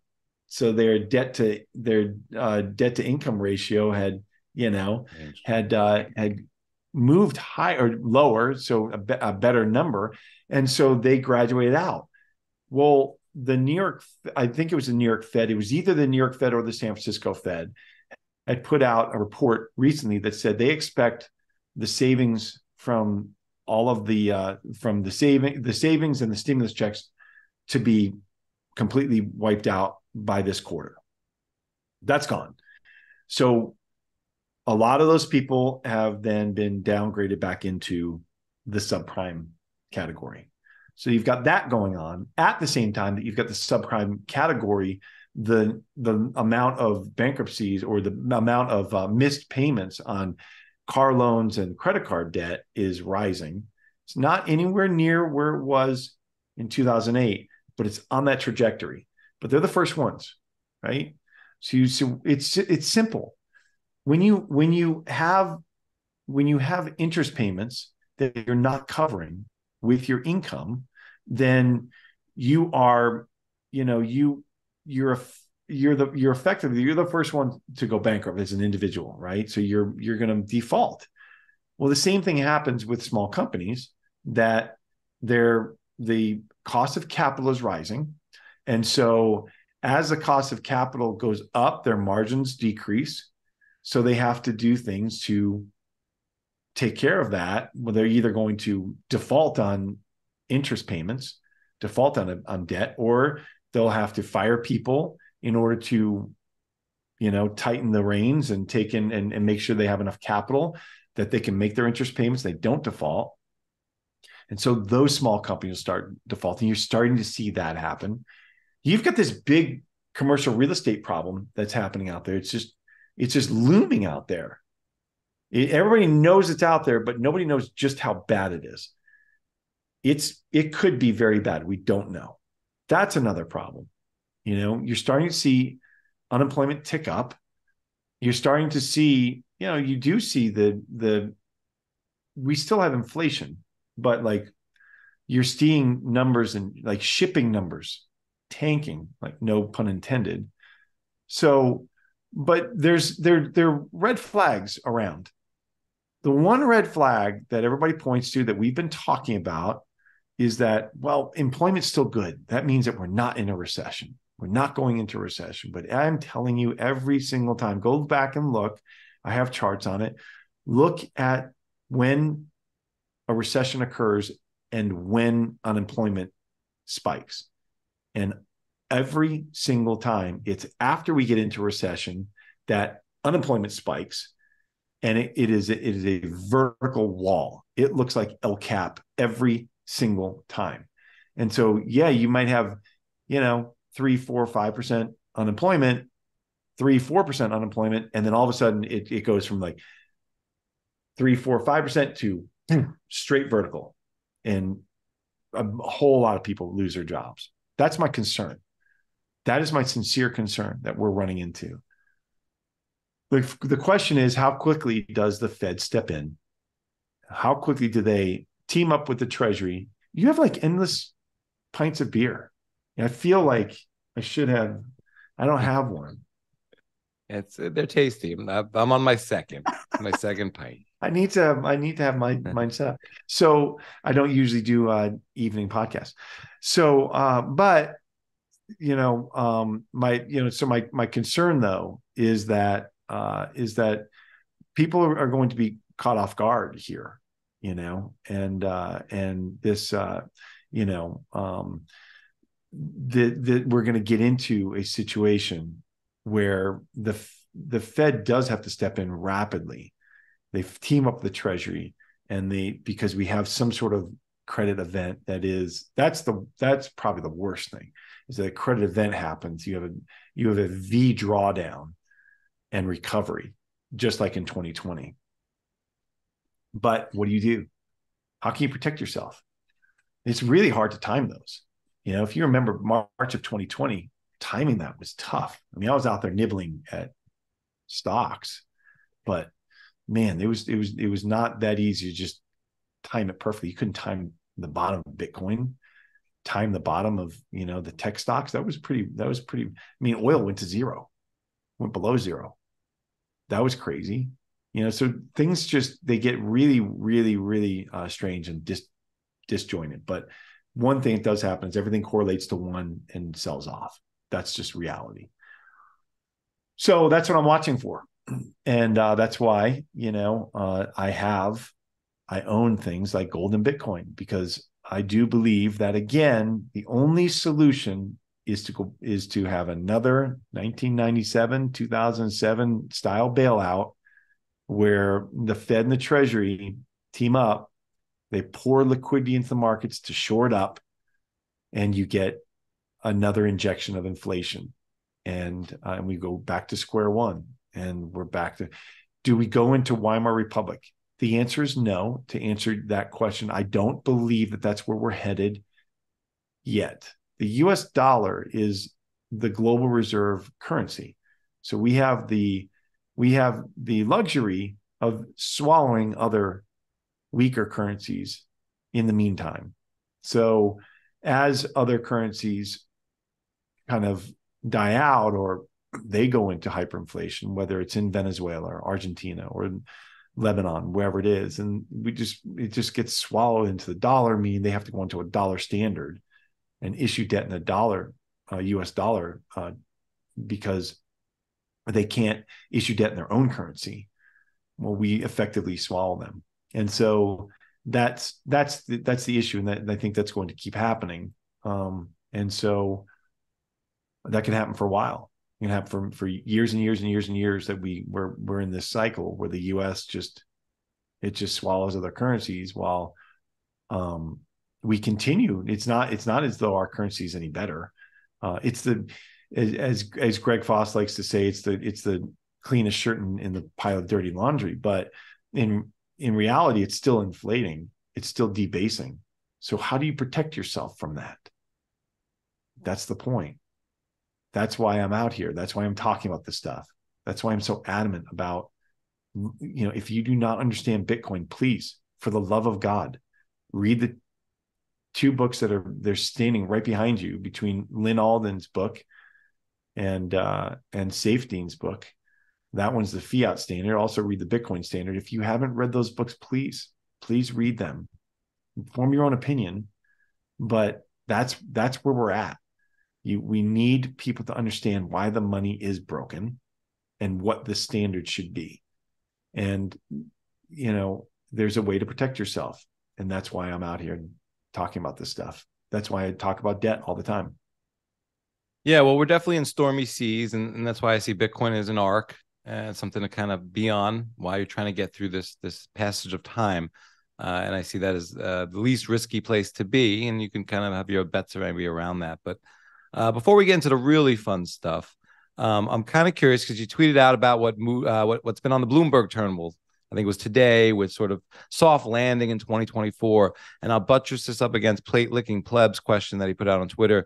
Do you think the Fed will deal with 2024's maturing debt by raising interest rates to attract foreign capital or if they will lower rates, you know, by you know print it themselves. And so, really, what I'm getting at here though is do you do you see a soft landing in 2024? Do you see the Fed the Fed pivoting or lowering rates at all?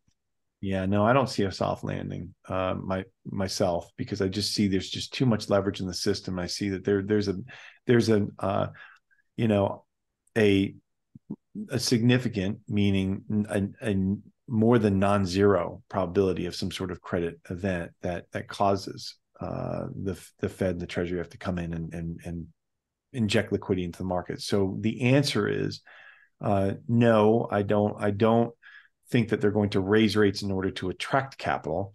Um, the Treasury market may end up having that done for them, and uh, and meaning that if we do need to issue mountains of debt, well, the bond vigilantes will ensure that they're getting paid for that that risk. And so that that could happen. So um yeah that's a it nobody knows when the recession will really hit. It's a very difficult thing to time. But remember the fed and we are all looking at stale data so when you hear data that you think well that's not really that that doesn't jive with me and what i'm seeing well it's from a couple months ago so, um, you know, that's uh, you just you have to remember that it's, it, this this then the data is it it is manipulated it's it's massaged and it it, it doesn't add up. Remember the really the the Fed is uh, you know their their mandate is to um, you know keep stable prices, meaning uh, not let inflation get out of control. Meaning, like go to first principles here. Why? Why? Why? Well, the first principle is because we need to have confidence in the US dollar. That's why. And so they need to make sure that investors in our securities, in, in our treasuries, are not worried about the dollar being, uh, you know, debased too too quickly, or else they will demand a much higher rate of return for that for that risk.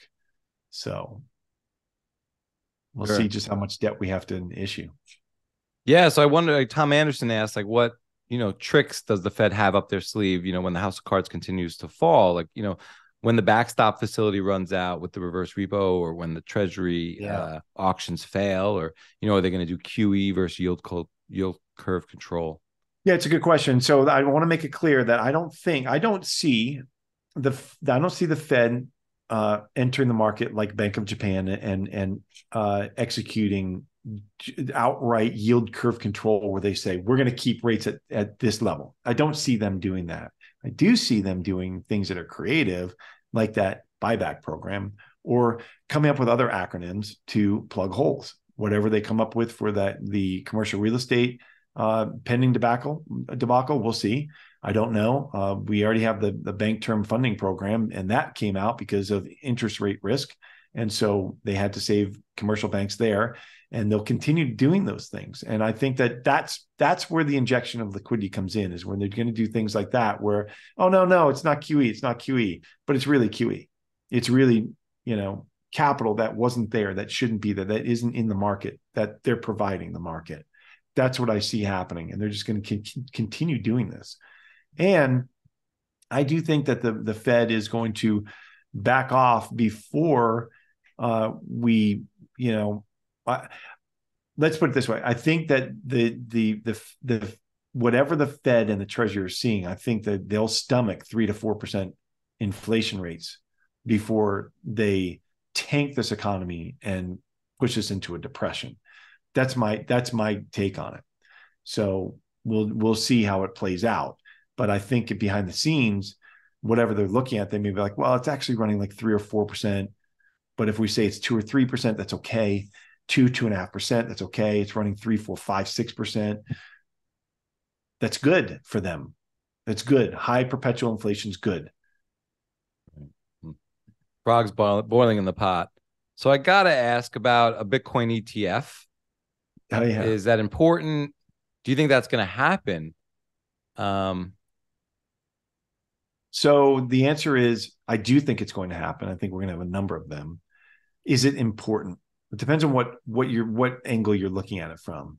If you're looking at from an angle that you want the you want Bitcoin to become a stable asset that does not have as much volatility as it does today for the long term and have widespread spread rapid adoption, then I do think that it is important and it can help. Is it necessary? No, it's not necessary for Bitcoin to survive. Absolutely not. However, it could, and I believe it will, an, an ETF, which will have a number of them, I, I think that they will uh, be super highway on ramps for institutional capital because it's just not easy for institutions to hold Bitcoin like an individual. They don't have the structure, the operational facilities to do it. It's not like they can just buy it, manage their keys, you know, settle it, price it. It's it's just not like that. It's diff it's difficult. And they have a lot of of of career risk to do that.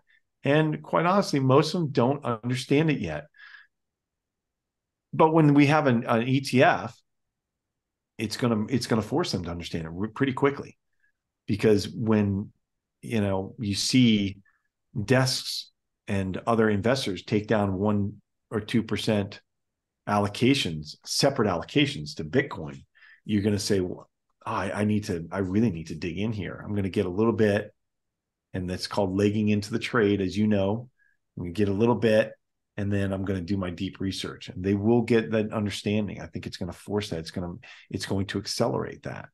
And so, but again, when you get trillions of dollars in this ecosystem, and we're talking, you know, multiples of where it, it uh, of where it is now, then the the volatility will dampen. You won't you won't have these 80% up, 80% down years. It's just I don't see that happening.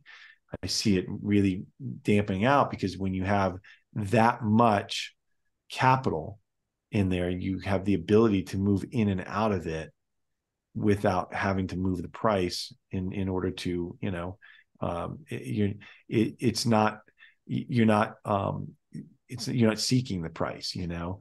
You, you get out of that mode. So yeah. um, yeah. I think there's a lot of interesting things here. Um, I, I, think it will definitely bring a lot of cash inflows into Bitcoin. Uh, custody aside, I think uh, you know things like having BlackRock and Goldman and these other entities behind Bitcoin brings a lot of marketing to Bitcoin. Around volatility i find this very interesting because i'm still of the thought that maybe volatility will increase as we go higher in price. And part of that is uh, just the notion of being priced in sats one day so at a million dollars of bitcoin you're talking a penny a sat and if you could log onto your exchange and pay one cent a sat i don't know why you wouldn't pay two cents a sat when you frame it up that way uh, and it could literally double on the overnight uh, but something else I see is that you know maybe these large funds, ETFs, uh, or just institutional money has to rebalance or redistribute out of Bitcoin every so often in terms of uh, allocation. If they want to stay at a three to five percent, I'm I'm not sure. Um, but what I but I, but in just in terms of the short term, I'm not sure when we're going to get an ETF because of what I see going on with like GBTC and sort of Genesis and D, the digital currency group and sort of the questions around the industry from that perspective. Um, but it'll definitely be an interesting ev- evolution uh, for Bitcoin.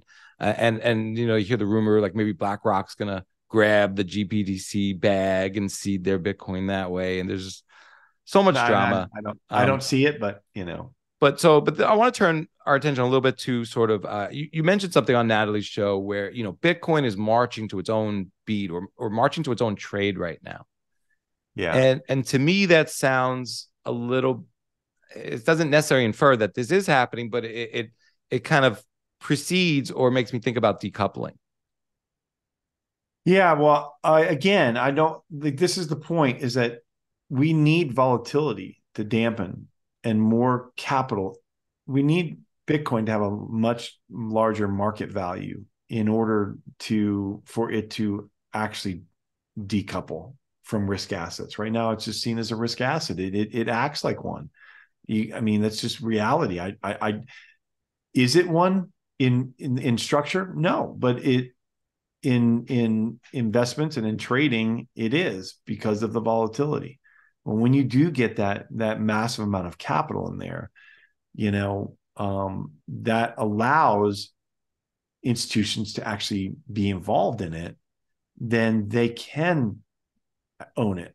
You can't if you're if you're Texas teachers and you've got you know one of your billion dollar funds and you want to get in and out of this thing and you want to have a few percent position that's that's you're talking about you know 20 30 million dollars of capital just on that fund. What if what about you you know?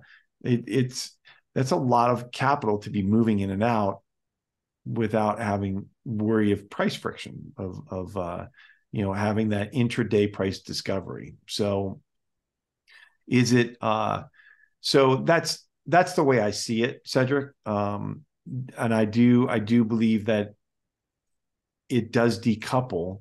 Once we get two things. We get the the asset to be large enough to be be able to be move in and out and have some stability in price. That's number one. But that really doesn't come until what is most important which is a broad and deep understanding of why bitcoin is different from everything else.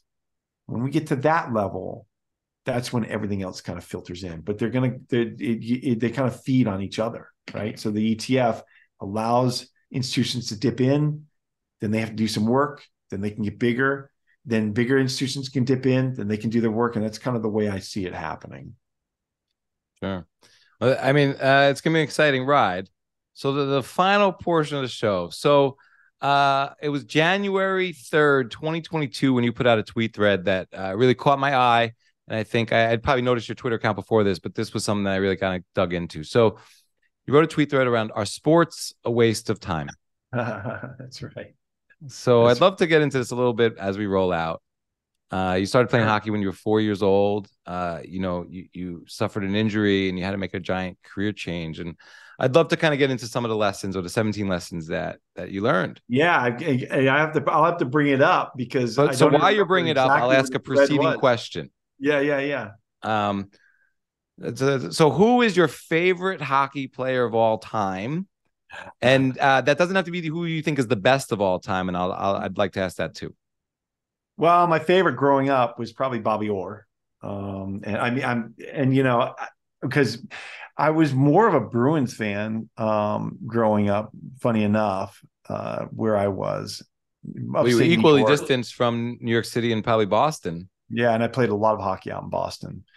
So, uh, but I loved, I, I loved watching, uh, I loved watching him. He was kind of like just a, he was a force of stability out there. That was, that was always fun. Um, so yeah, that, that's, uh, that's probably, that's so Lemieux or Gretzky then best of all time.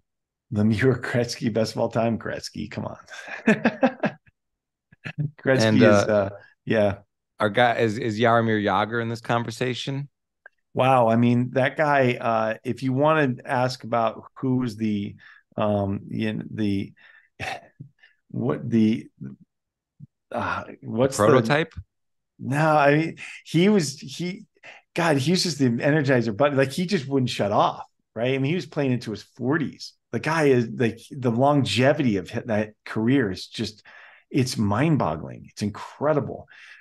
But what I'll say about what what I'll say about Jaromir Jagr is that that just shows the mental and physical discipline that he had over the course of his career. Yeah, he had injuries, but to have the discipline to keep going all those years, it's absolutely incredible. Yeah, my favorite play growing up was Mike Bossy, Mike sniper Bossy. from the wing.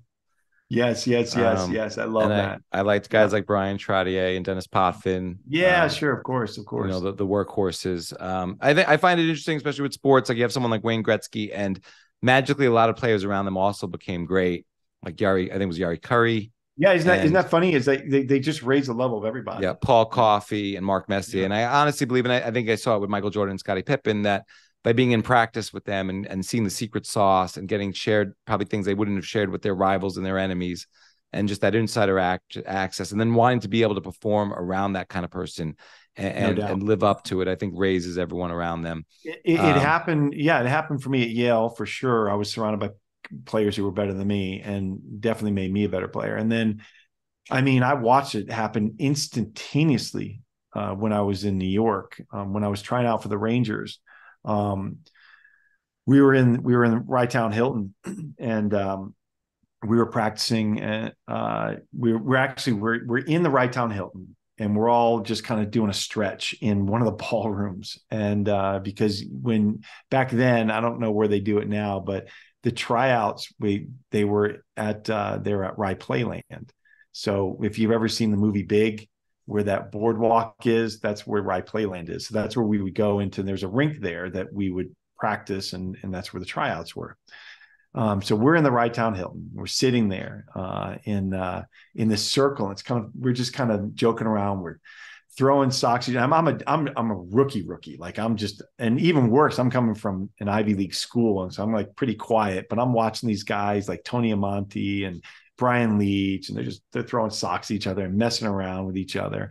And uh, you know, um, Kovalev was there, and Nemchinov. You remember all the guys. So, and so I'm we're we're just the whole circle. We're just in a big circle, kind of doing a half-ass stretch at best. And so the suddenly the door creaks open and the and the whole room falls silent. It was like, whoa. And I and I turn around, I look, and Mark Messier is walking in and he walks up into the center of the circle. And I mean, nobody's talking. Like Brian Leetch, shut up. You know, Tony Amonte, shut up. And they were like, Adam Graves didn't say anything. Like we're just sitting uh. there, like, and we and he walks up and he's like,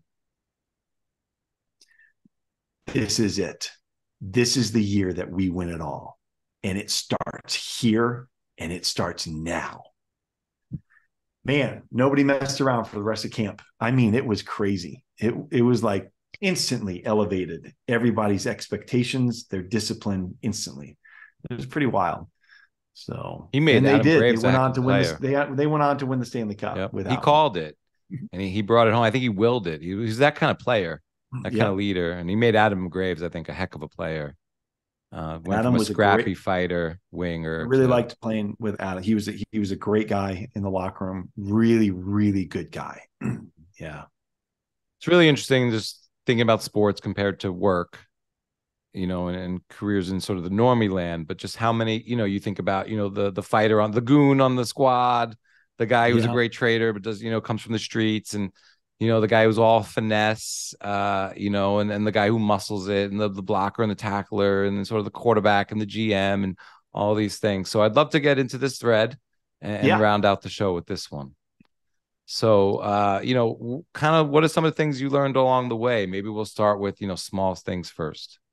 Well, I mean, yeah, like I think that the the point of that is that you you build on all the small moments and you and you and you you don't just build on them, but you kind of you you celebrate them, right? So it's not just that you're you're uh, doing the little things all the time, and they, it does matter. Doing the little things matters, and they they do add up. But also celebrating those things because they do lead to the bigger things. And um, uh, one of the guys that that uh, I follow, Sahil Bloom, he likes to say that he likes to say you you you um, increase your your surface luck area, right? So uh, your luck surface area by doing all these things, you know, these small things, you can increase that area. And it's kind of the same thought: is that eventually something it adds up, and something and something does break your way. And so it's it's it's attention to those little details. It's not it's not being um, you know anal retentive or it's not being overly uh, not to have like dogma around it but it's more like do these little things and do them right because they do matter there there's certain things that do matter and they will add up and make a difference Oh, yeah. And, you know, moving on to sort of ego is the enemy.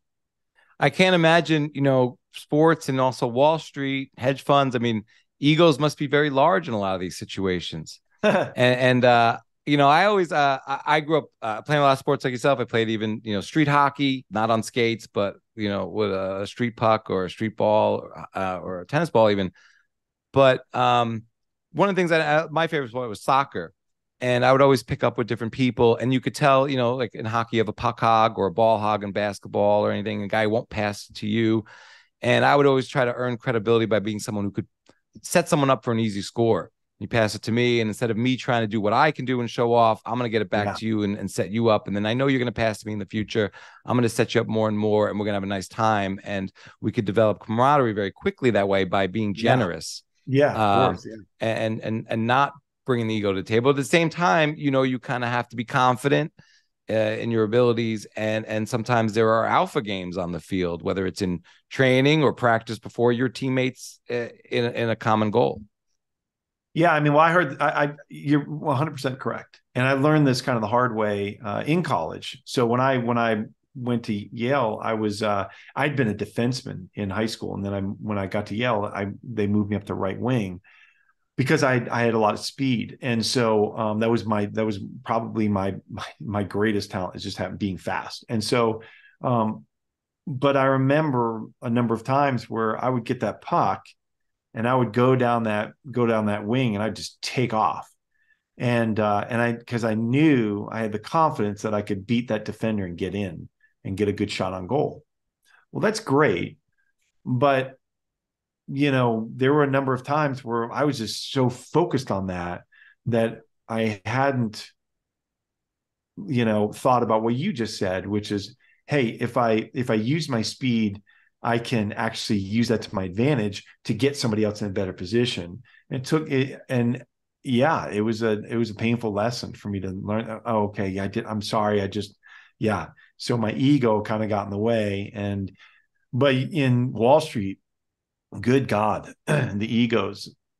I mean, all the way up until the the the um me leaving my official posts on uh you know before i became a reformed hedge fund manager uh the egos were just gargantuan sickening stomach turning stomach turning. And so i just don't want to ever be like that you know? I'll be on uh i'll you know you've got a great podcast here. I've been on tiny podcasts. I've been on huge ones. I've been on you know news uh channels.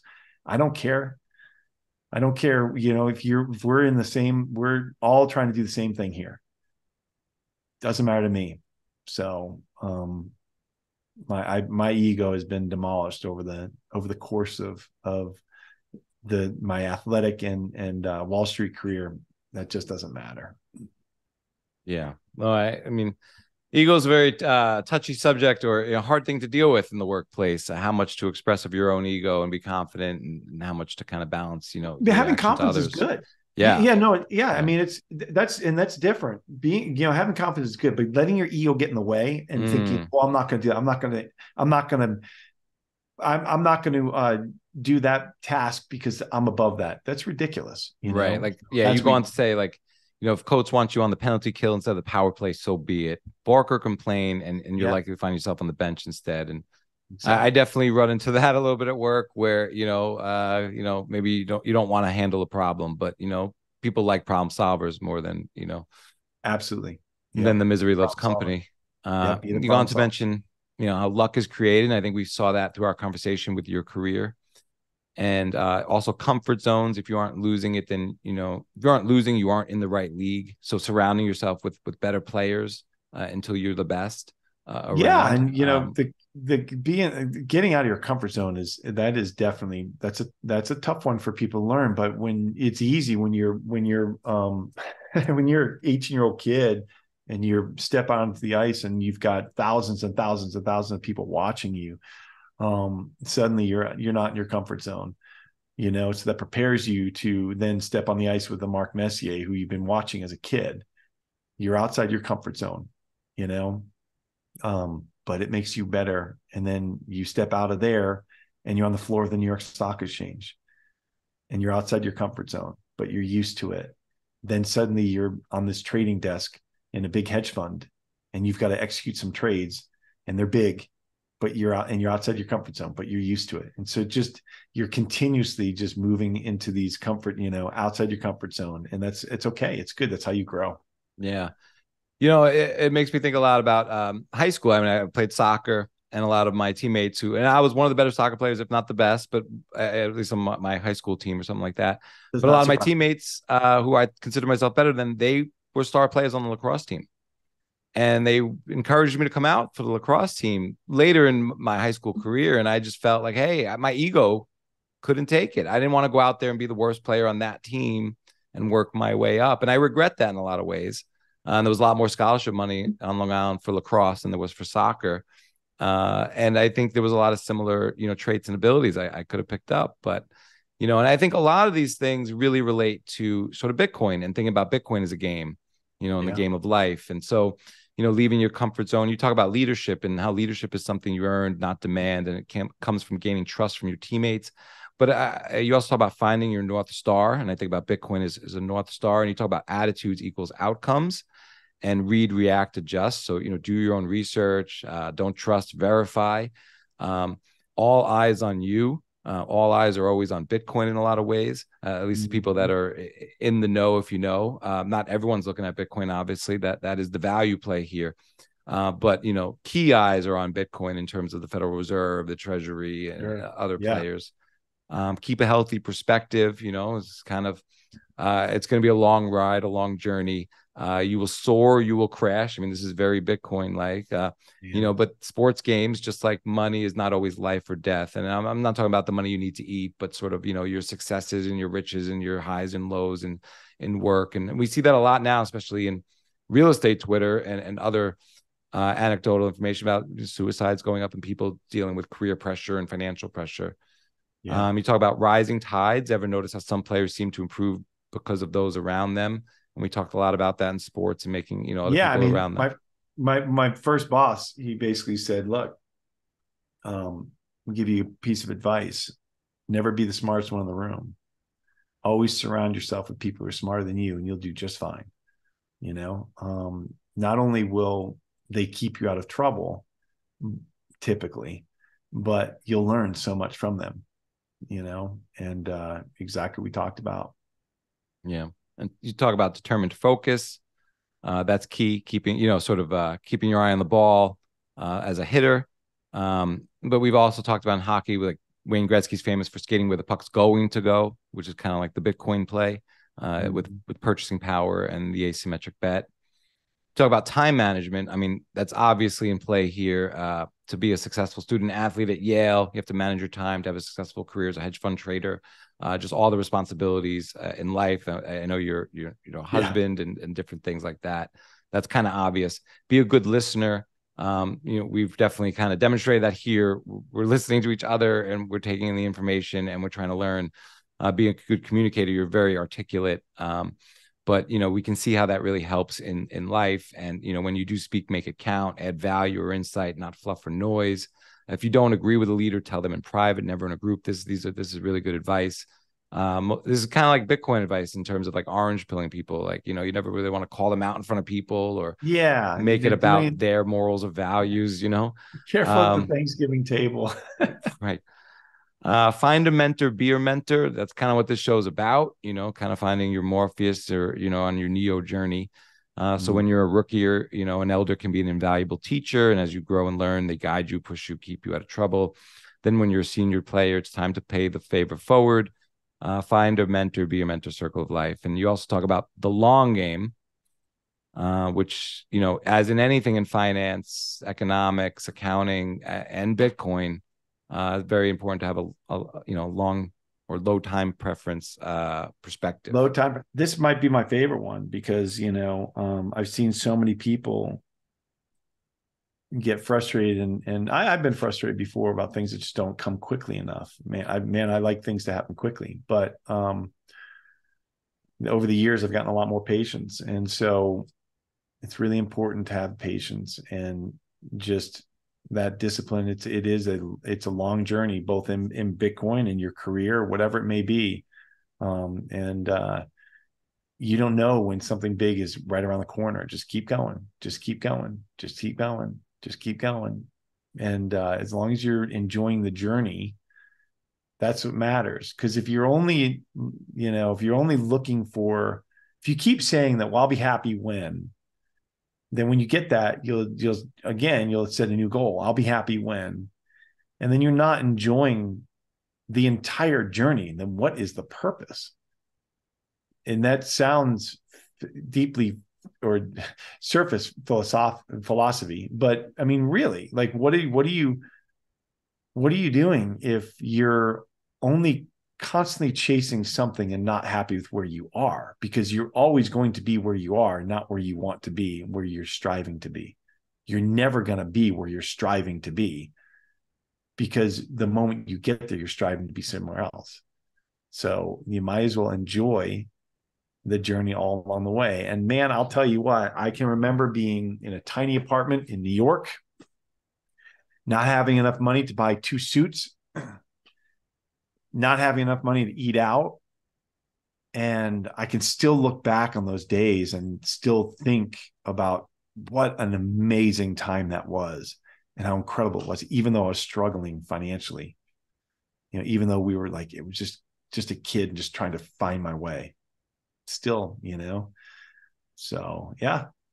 There there there's some I think there's some there's definitely some nuggets in there. Athletes we will certainly resonate with a lot of athletes that they've learned these lessons along the way and you can apply them in your career for sure. It's uh you know it's what you make of it right? Yeah. Well that's awesome. So my final question for you then and i ask this kind of like coming from two different places. So i think a lot of people you know uh, men or women are trying to maybe orange pill their spouse. So mm-hmm. maybe there's a husband out there and he's a plumber or uh, an electrician or whatever it might be, and uh, they want to orange pill their spouse, but you know maybe their spouse you don't know anything about money, that's not your lane. You're telling me, you know, and maybe that's a struggle. And I think also, you know, so so you're a hedge fund manager, so it's more your lane, just in terms of if someone doesn't know anything about money or Bitcoin or currency. And, and I think also that, but then there also might be the pushback of, hey babe uh you know is this another one of these fancy arbitrage deals you're trying to do or another newfangled product or another way to you know, sort Get of rich quick scheme, yeah, whatever it might be, another trade. Um, so there might be its own difficulty there. Um, but have you orange pilled your wife, and and maybe what has that been like? Oh yeah, it was easy because I was sitting there. Uh, she knew I was I was watching all these videos, and she's like, "What? Did you know? Okay, Bitcoin, okay." And then um, she's a she self proclaimed allergic to math.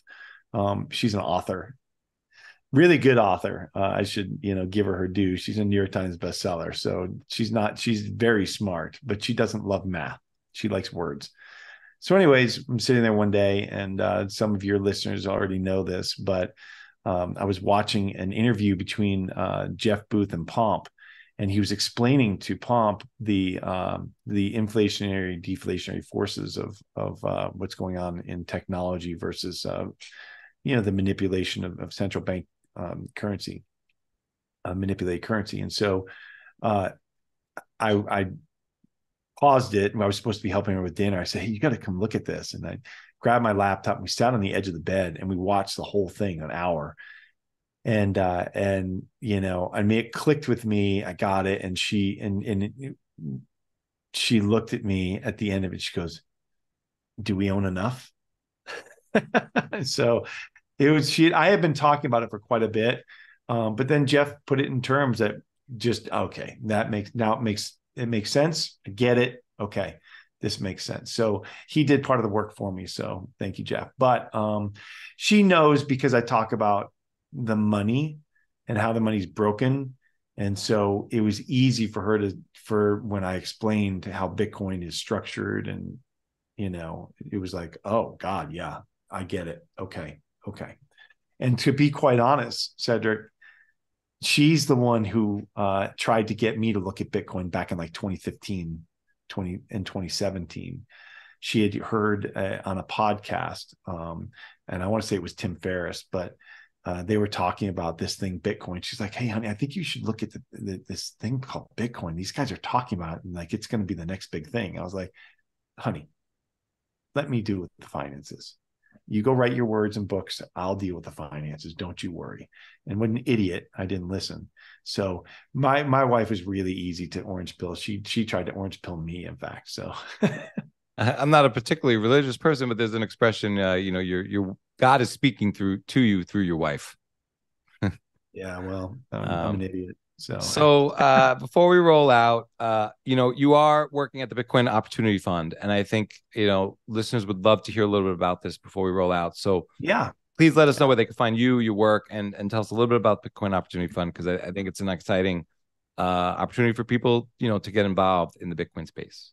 Yeah, of course. So uh, I started the Bitcoin Opportunity Fund, um, co-managing partner with David Foley, who is Larry Lepard's uh, partner in his hedge fund. And so Dave and I uh, are the we we work on the fund daily. We've got other partners that people will know and, and have heard of: uh, Larry Lepard, Greg Foss, Mark Moss, uh, uh, Cory Klippsten. Um, and so they're they act more as uh, kind of like an advisory board. So when we are working through uh, issues on a on a private equity investment or something, they're they're in, on a board we meet with each week. Um, so it's for accredited investors, not my rule, SEC. There's nothing to do about it. But if you're an accredited investor, what we do is we invest in the Bitcoin ecosystem. We do public and private, early stage, late stage. We can do venture. We can do uh, we well because we have a, a public private partnership. It's a hybrid we what we've done is we've layered uh, some um, risk management tools on top of our investments across the entire portfolio. You know, doing things like uh, put spreads on the on the portfolio or volatility trades on some of the Bitcoin related investments that we have, and that that is we're looking to dampen the volatility of the entire portfolio because it is in the Bitcoin ecosystem and uh, protect downside. So, uh, but yeah, if you if you are interested in that, we're super excited. Uh, we we're already making investments. We we have uh, raised uh, a, a, bunch of capital, and we're we're still open for investment uh, through the end of the year. So, if you are interested, we have a, a few more slots open. We're limited to 99. Again, not my rule; it's the SEC rule. Uh, but you can find out more opportunity. Just go to bitcoinopportunity.fund email us and we'll and we'll get you um, a packet. You just have to check off the boxes that that uh, that um, validate you as a, an accredited investor. And so we're happy to do that. So um, and you can find me on Twitter, uh, just James at James Lavish, um, and um, I've got a lot of of podcasts I've been on. You can search YouTube.